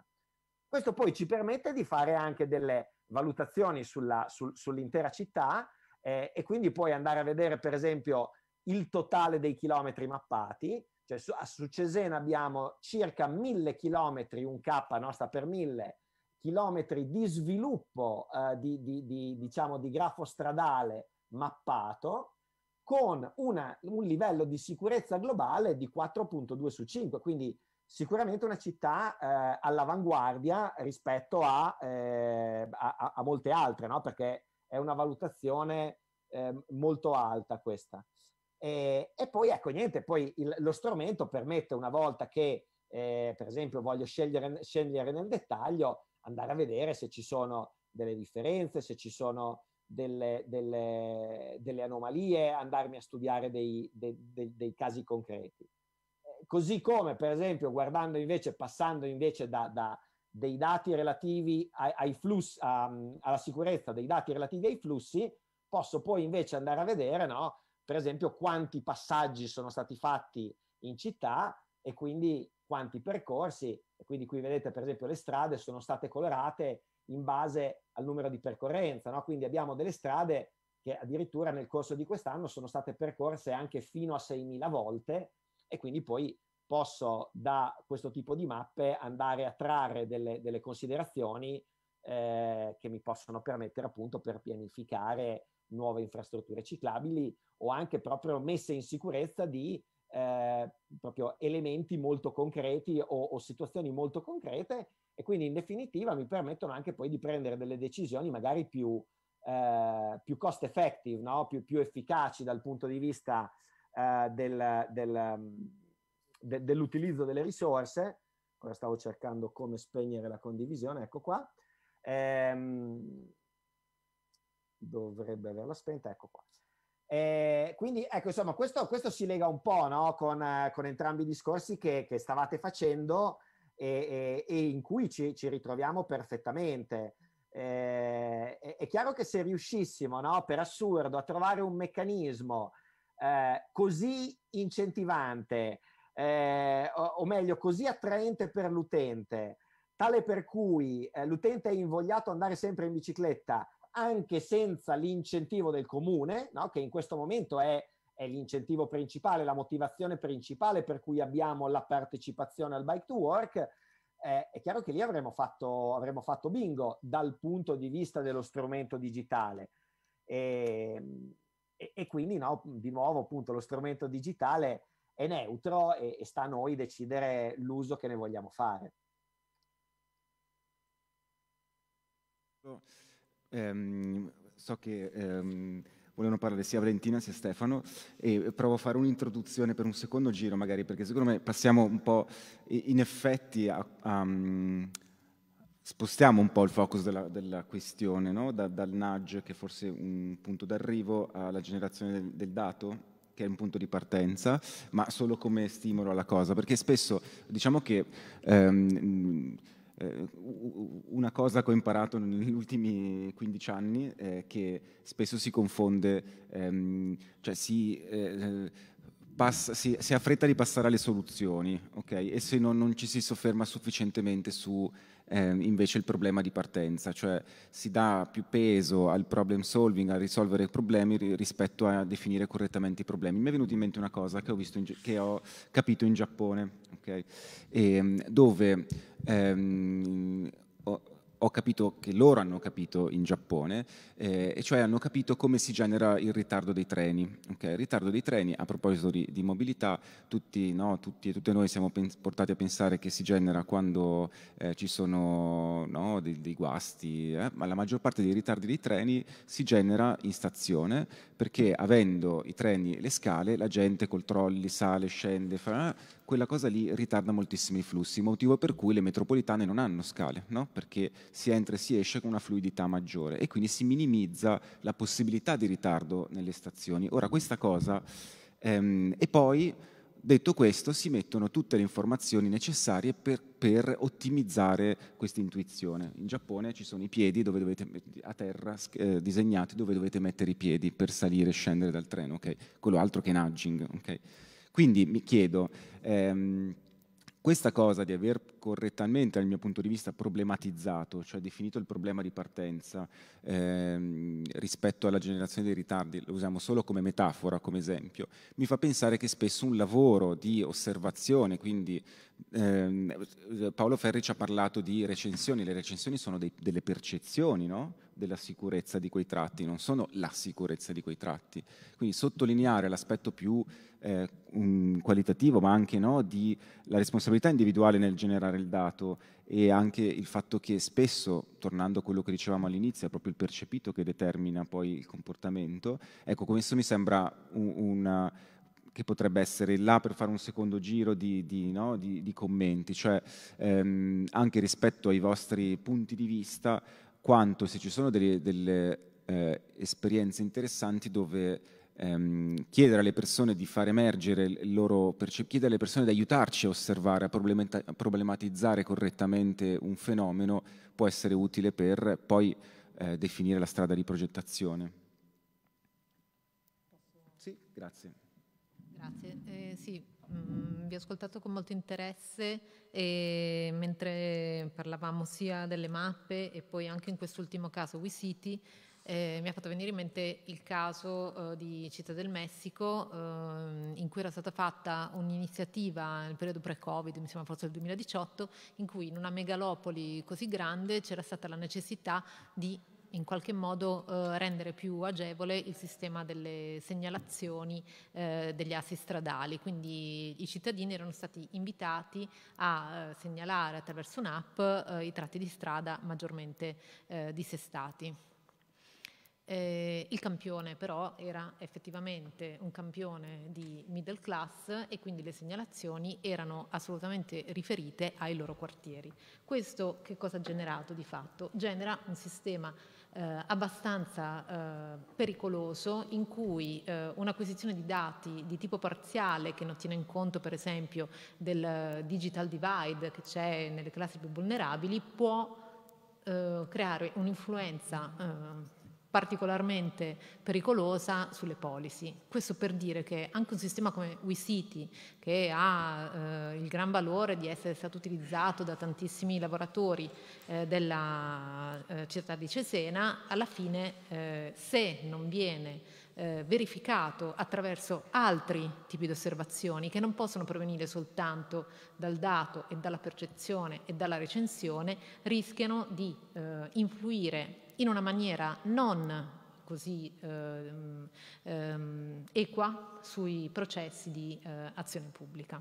E, ehm, questo è molto importante anche quando appunto si lavora su altri tipi di mappe, per esempio la mappa della percezione, se io lo faccio soltanto con un sistema eh, digitale, questo rischia di tagliare fuori tutta una, una fascia eh, di popolazione che non ha così tanta dimestichezza né con le app né con i sistemi di segnalazione digitale, eccetera. Quindi il lavoro sul territorio, mh, ampio o eh, a piccola scala che sia, secondo me deve comunque integrarsi con altre forme di ehm, collaborazione e partecipazione con i cittadini.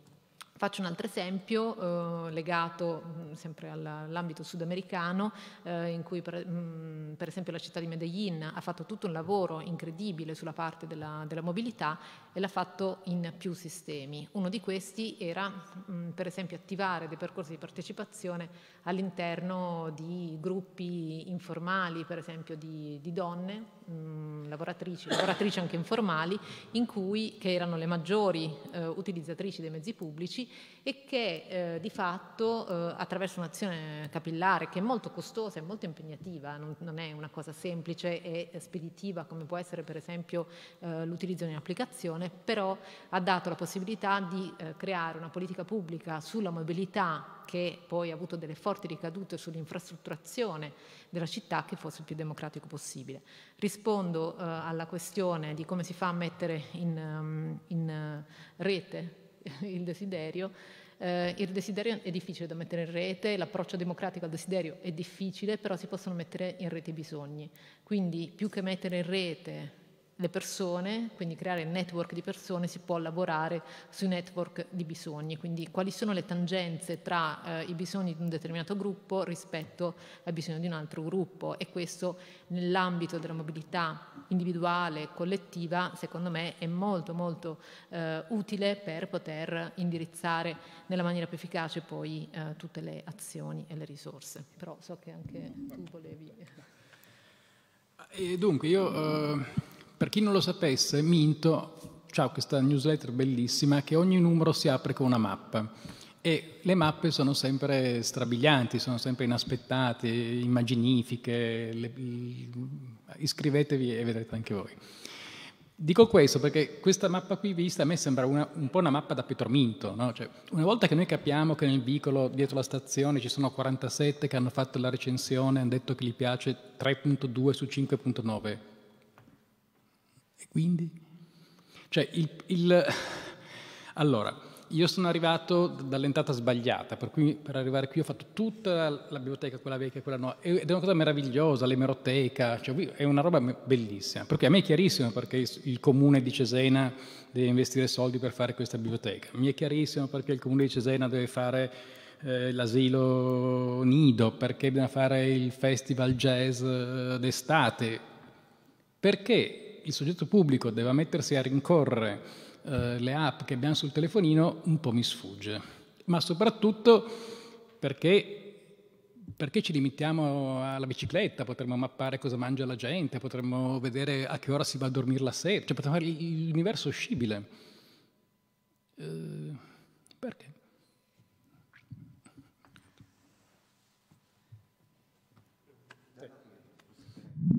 Non so se... Io con, con, un'ultima, con una battuta sul, sul framing più che sul solving. Allora, io ho fatto un po' di esperimenti molto artigianali di creazione di mappe quanti qualitative a partire dalla rassegna stampa, per cui io insieme ad altri collaboratori su un contesto ci siamo letti 2000 articoli, tutti, titolo e contenuto, provando a mapparli per tag tematici e da quelli mettendoli su mappa e vedere che cosa succedeva. È ovvio che non, dire, non è uno strumento, è come questo strumento qui e quindi poi che succede? Secondo me è quel tipo di strumenti che va sovrapposto a poi quella che è la comprensione molto più scientifica del dato, cioè quindi quella che è la mappa assolutamente precisa delle, dei contesti. Cosa mi serve poi questa cosa? È quello che dicevo un po' prima, cioè quando ho queste due cose, che una è la mappa precisa, una è la mappa della percezione o una mappa qualitativa che viene da desunta, da analisi stampa, la porto eh, in contesti in cui bisogna discutere del problema. Cioè è uno strumento in più di discussione, in definitiva.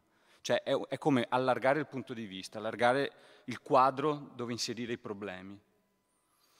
Secondo me è una leva che aiuta a alzare un po' il livello di consapevolezza, il livello di curiosità sulle cose, sono tutti strumenti che aiutano e migliorano il, come si discute assieme. Ehm, un, um, quello che ha detto Ferri si, si, riconduceva appunto a quello che dicevi te su, quando diceva che è importante incrociare i dati, quindi nel suo caso anche le mappe, sui flussi, cioè le zone più percorse più, recen- più, recensite e i dati sulla sicurezza, cioè, perché da lì incrociando un, due, immagino più di queste anche, uh, allora lì che si, si possono trarre insomma, informazioni più, più utili. Um, perché farlo? Eh, perché, come dicevamo all'inizio, beh, un po' c'è il c'è la questione eh, dei dati di cui parlavamo prima, eh, di quanto siano poco accessibili o costosi, e quindi ci sono aziende private che raccolgono i nostri dati continuamente e, e poi magari non ce li, rive- ce li, rivendono perché insomma il, le amministrazioni pubbliche sono pubbliche, quindi sono cioè, con i nostri soldi, come si suol dire, ce li rivendono e, e quindi questo può essere un, perco- un metodo per quanto minore, un po' artigianale, però artigianale no, però mm, insomma, sicuramente più piccolo di Facebook o quello che è, eh, per avere informazioni eh, sul territorio gr- gratuite o quantomeno accessibile, accessibile al pubblico.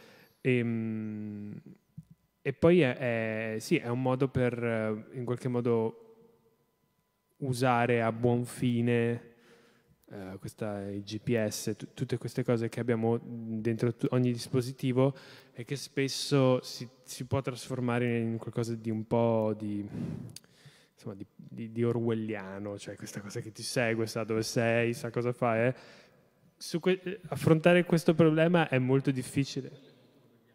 Sì, no, ma lì è consensuale, cioè tipo, nel senso, eh, in cambio, però sai, sai cioè, è, è un modo per quasi per rispondere, come rispondere tipo a un questionario quasi. Io sono andato giù per di qui, la strada era ok, qui invece non è bella e qui è bella, tipo. Però con i dati essenzialmente. No, no, è un modo appunto, cioè, secondo è, si, abbiamo un po' chiuso il cerchio, cioè tipo i dark, dark pattern di prima possono essere utilizzati per rendere la cosa, mh, l'esperienza più liscia e piacevole possibile o per spingerti in brutte direzioni, cioè è un metodo, un, me- un set di mezzi abbastanza potente che sta a te utilizzare e qui mi sembra insomma, cioè, utilizzato bene. Prego.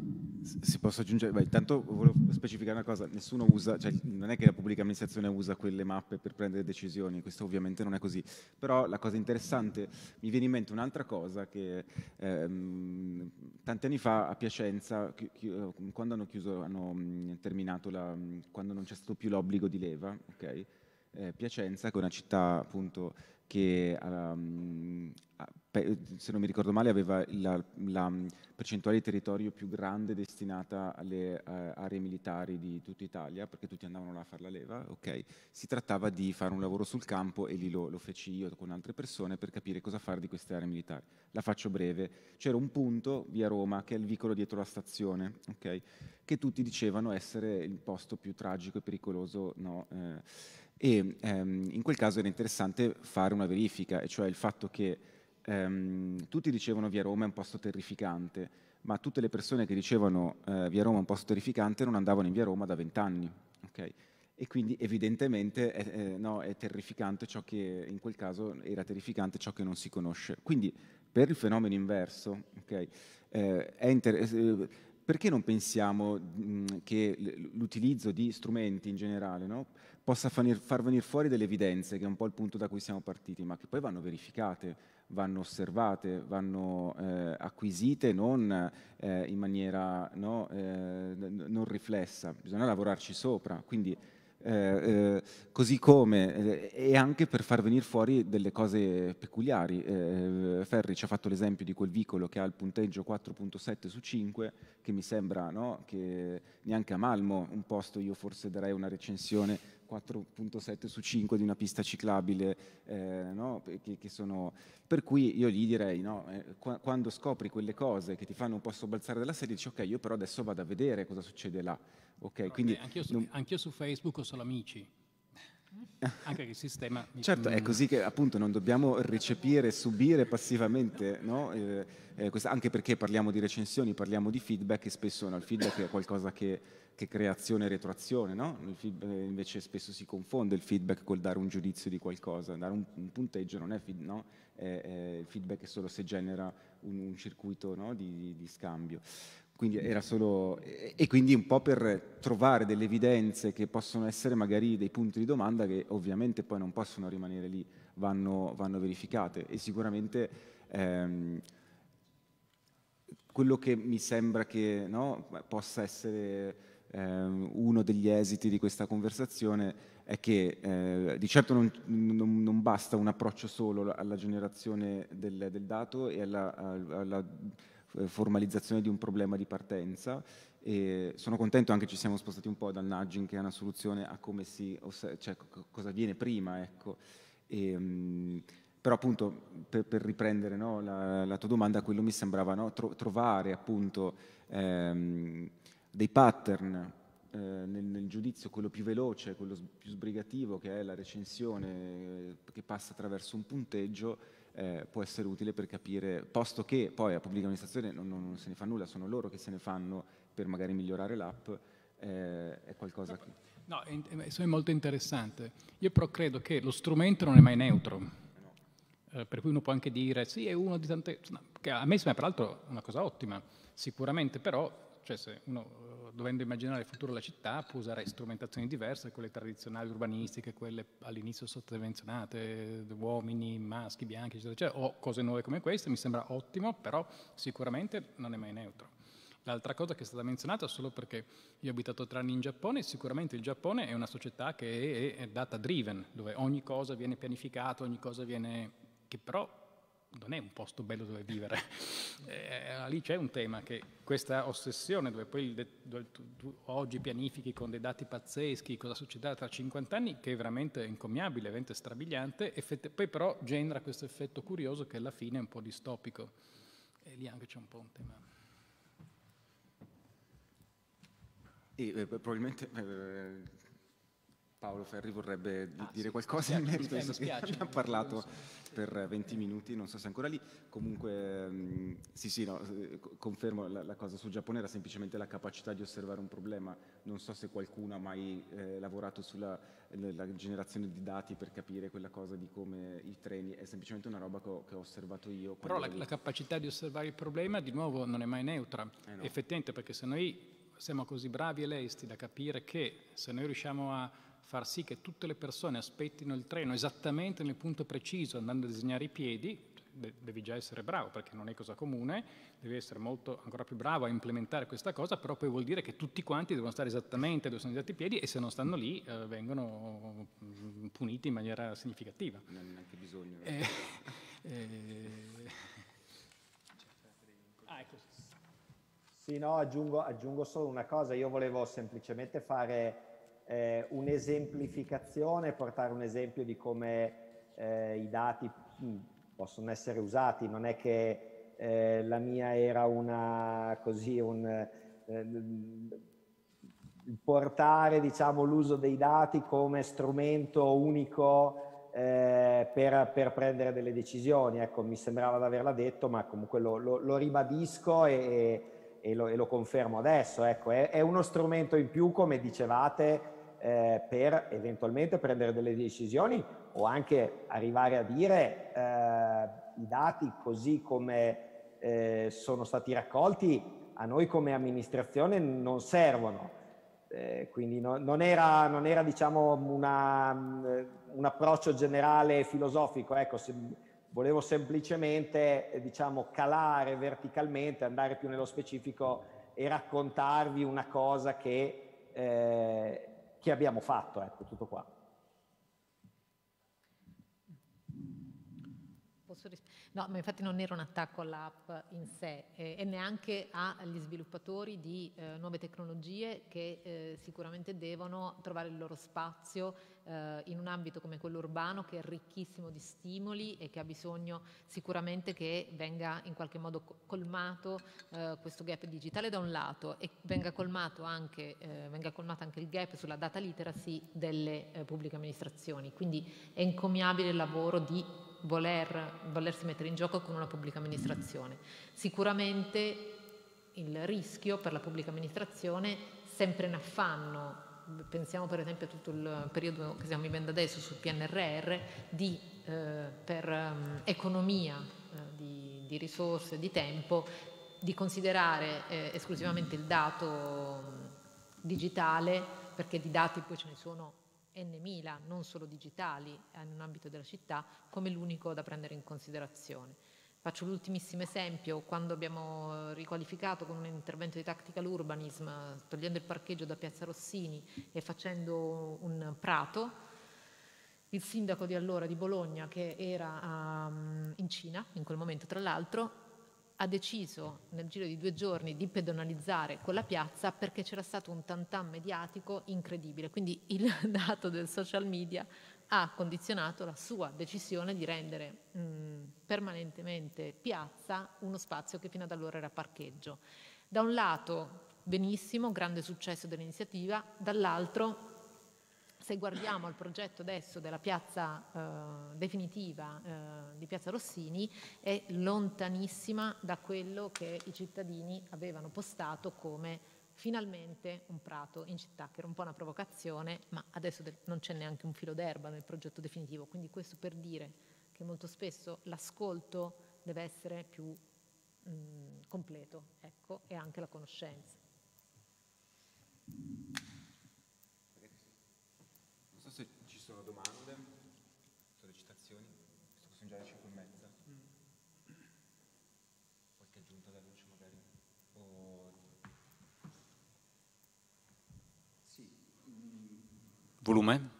Il, ehm, vorrei come ultima invece fare un test a coda per cui attenzione che poi c'è un momento in cui bisogna iniziare a fare le cose. Per cui va bene conoscere, va bene capire, ma poi il difficile è far provare, cioè la spinta gentile, tornando al nudge, è il valore di imitare qualcuno che sta già facendo qualcosa, per cui tutta quella parte lì in questo momento per me è la vera sfida, la vera frontiera di lavoro per chi prova a fare politiche come dire, eh, il tema della conoscenza fondamentale, il problematizzare, cercare di arricchire la discussione, di capire la complessità. Però a un certo punto c'è una linea, si tira una linea e le cose si iniziano, si inizia a fare, si, fa, si, fa, si prova.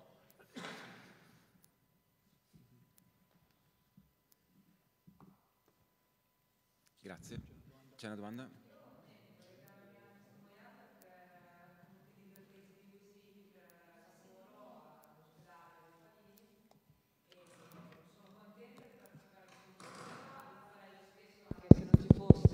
City perché ovviamente credo nella, nella, bellezza di andare al lavoro in bicicletta e nella opportunità perché se dobbiamo andare in macchina all'ospedale ci mettiamo mezz'ora per trovare il parcheggio, quindi evidentemente c'è anche un altro stimolo per andare in bici.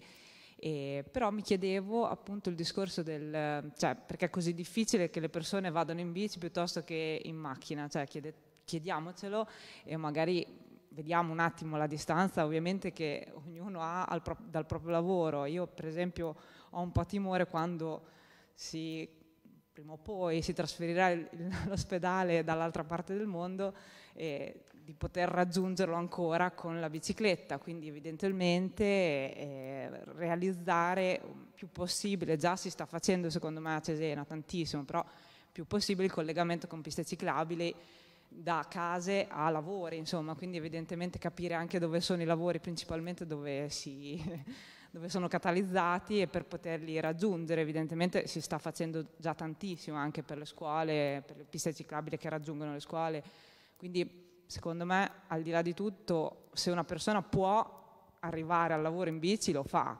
almeno io personalmente conoscendo anche le mie colleghe e i miei colleghi, se potessero lo, face- lo farebbero, cioè lo farebbero tranquillamente, quindi è vero cercare di capire, spinta gentile, però le persone devono essere anche informate della importanza e quant'altro, quindi lo, lo siamo, in fondo se uno vuole lo è.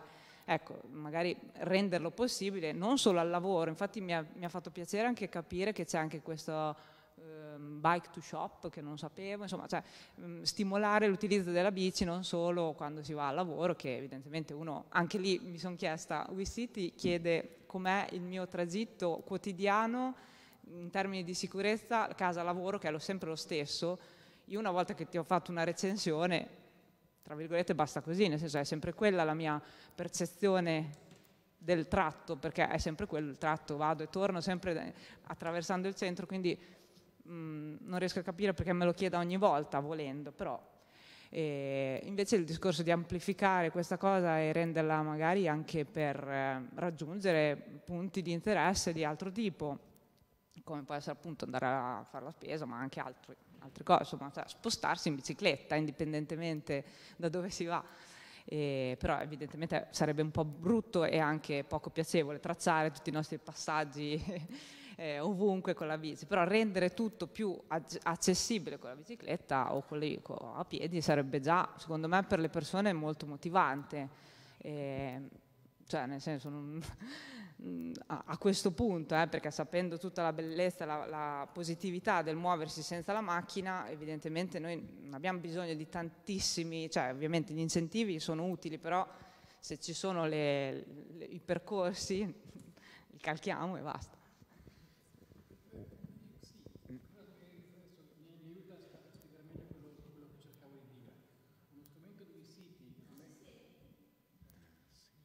Allora, ecco, mi aiuta a, a, a spiegare meglio quello, quello, che volevo dire. Lo strumento di WeCity a me sembra ottimo per generare coscienza di classe nei ciclisti di Cesena. E questa coscienza di classe è fondamentale per arrivare a una città migliore, perché sono contenti, sono fieri, convincono degli amici, eccetera, eccetera. Ho qualche dubbio che poi il pianificatore dalle 47 recensioni del, del, vicolo abbia delle informazioni speciali che gli consentono, sono due cose diverse, per cui secondo me strumenti come questo sono importantissimi perché generano uno, uno straordinario sentimento di appartenenza, di eccetera eccetera. Non so quanto uh, la mappa di Borges, che poi sappiamo metro per metro cosa succede, sia poi per davvero uh, utile. Infatti eh, grazie Stefano e grazie anche eh, per questo intervento perché in realtà poi noi stiamo cercando quello che succederà nei prossimi mesi, eh, dopo le cose che abbiamo imparato oggi, dopo le cose che abbiamo imparato in passato, eccetera, è proprio di provare a mettere in campo del, delle nuove iniziative che rispondono a questa domanda, cioè ma al di là del, dell'incentivo, al di là del, cioè, cos'è che veramente pers- spinge veramente le persone a usare la bicicletta piuttosto che l'automobile?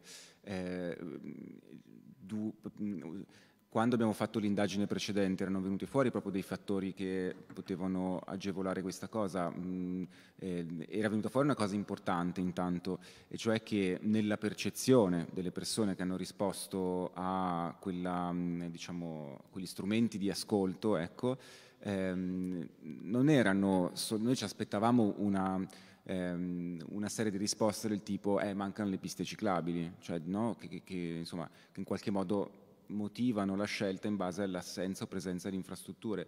La maggior parte delle persone hanno parlato invece di fattori di resistenza interni, più psicologici, per quello che vi stiamo parlando di queste cose oggi. Uno dei fattori invece che, fa, che ci hanno detto potrebbe favorire la cosa è non fare il tragitto da soli, banalmente. Okay?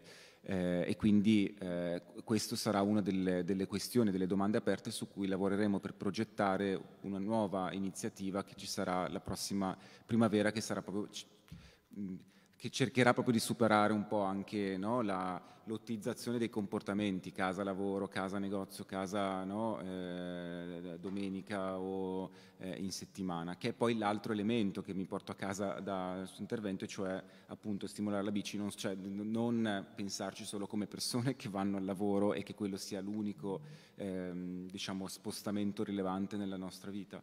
Per cui ci sarà sicuramente no, un momento di chiamata di nuovo da parte delle persone che vorranno collaborare per creare quei piccoli esempi, a proposito di quello che diceva Lucio Rubini prima, che poi permettano di stimolare il principio di imitazione, perché se non facciamo delle piccole cose e, e che, che, poi possano dire ah vedi cosa fa quello o cosa fa quello cosa fanno quelli, quel gruppo di persone, sarà difficile poi dire eh, esiste quella possibilità di farlo. Ecco. Non so se c'è altre aggiunte. Niente, io allora vi ringrazio. E, um, eh, ricordiamo che eh, intanto la, la, oggi abbiamo, la, la, sessione di oggi è stata registrata, quindi se eh, rimarrà disponibile online, eh, ne faremo anche una versione molto eh, breve. E, um, e questo, di nuovo lo ripeto, è un passaggio intermedio che a noi ha permesso di raccogliere alcuni elementi, per cui adesso ci mettiamo un po' a... Um, progettare la, la, la, prossima iniziativa, che sarà la versione 2 di Epurti Muovi, che è quella cosa che forse ricordate di un anno e mezzo fa che vi dicevo all'inizio. Quindi ringrazio le persone che hanno condiviso con me questo tavolo e, e a voi per l'attenzione.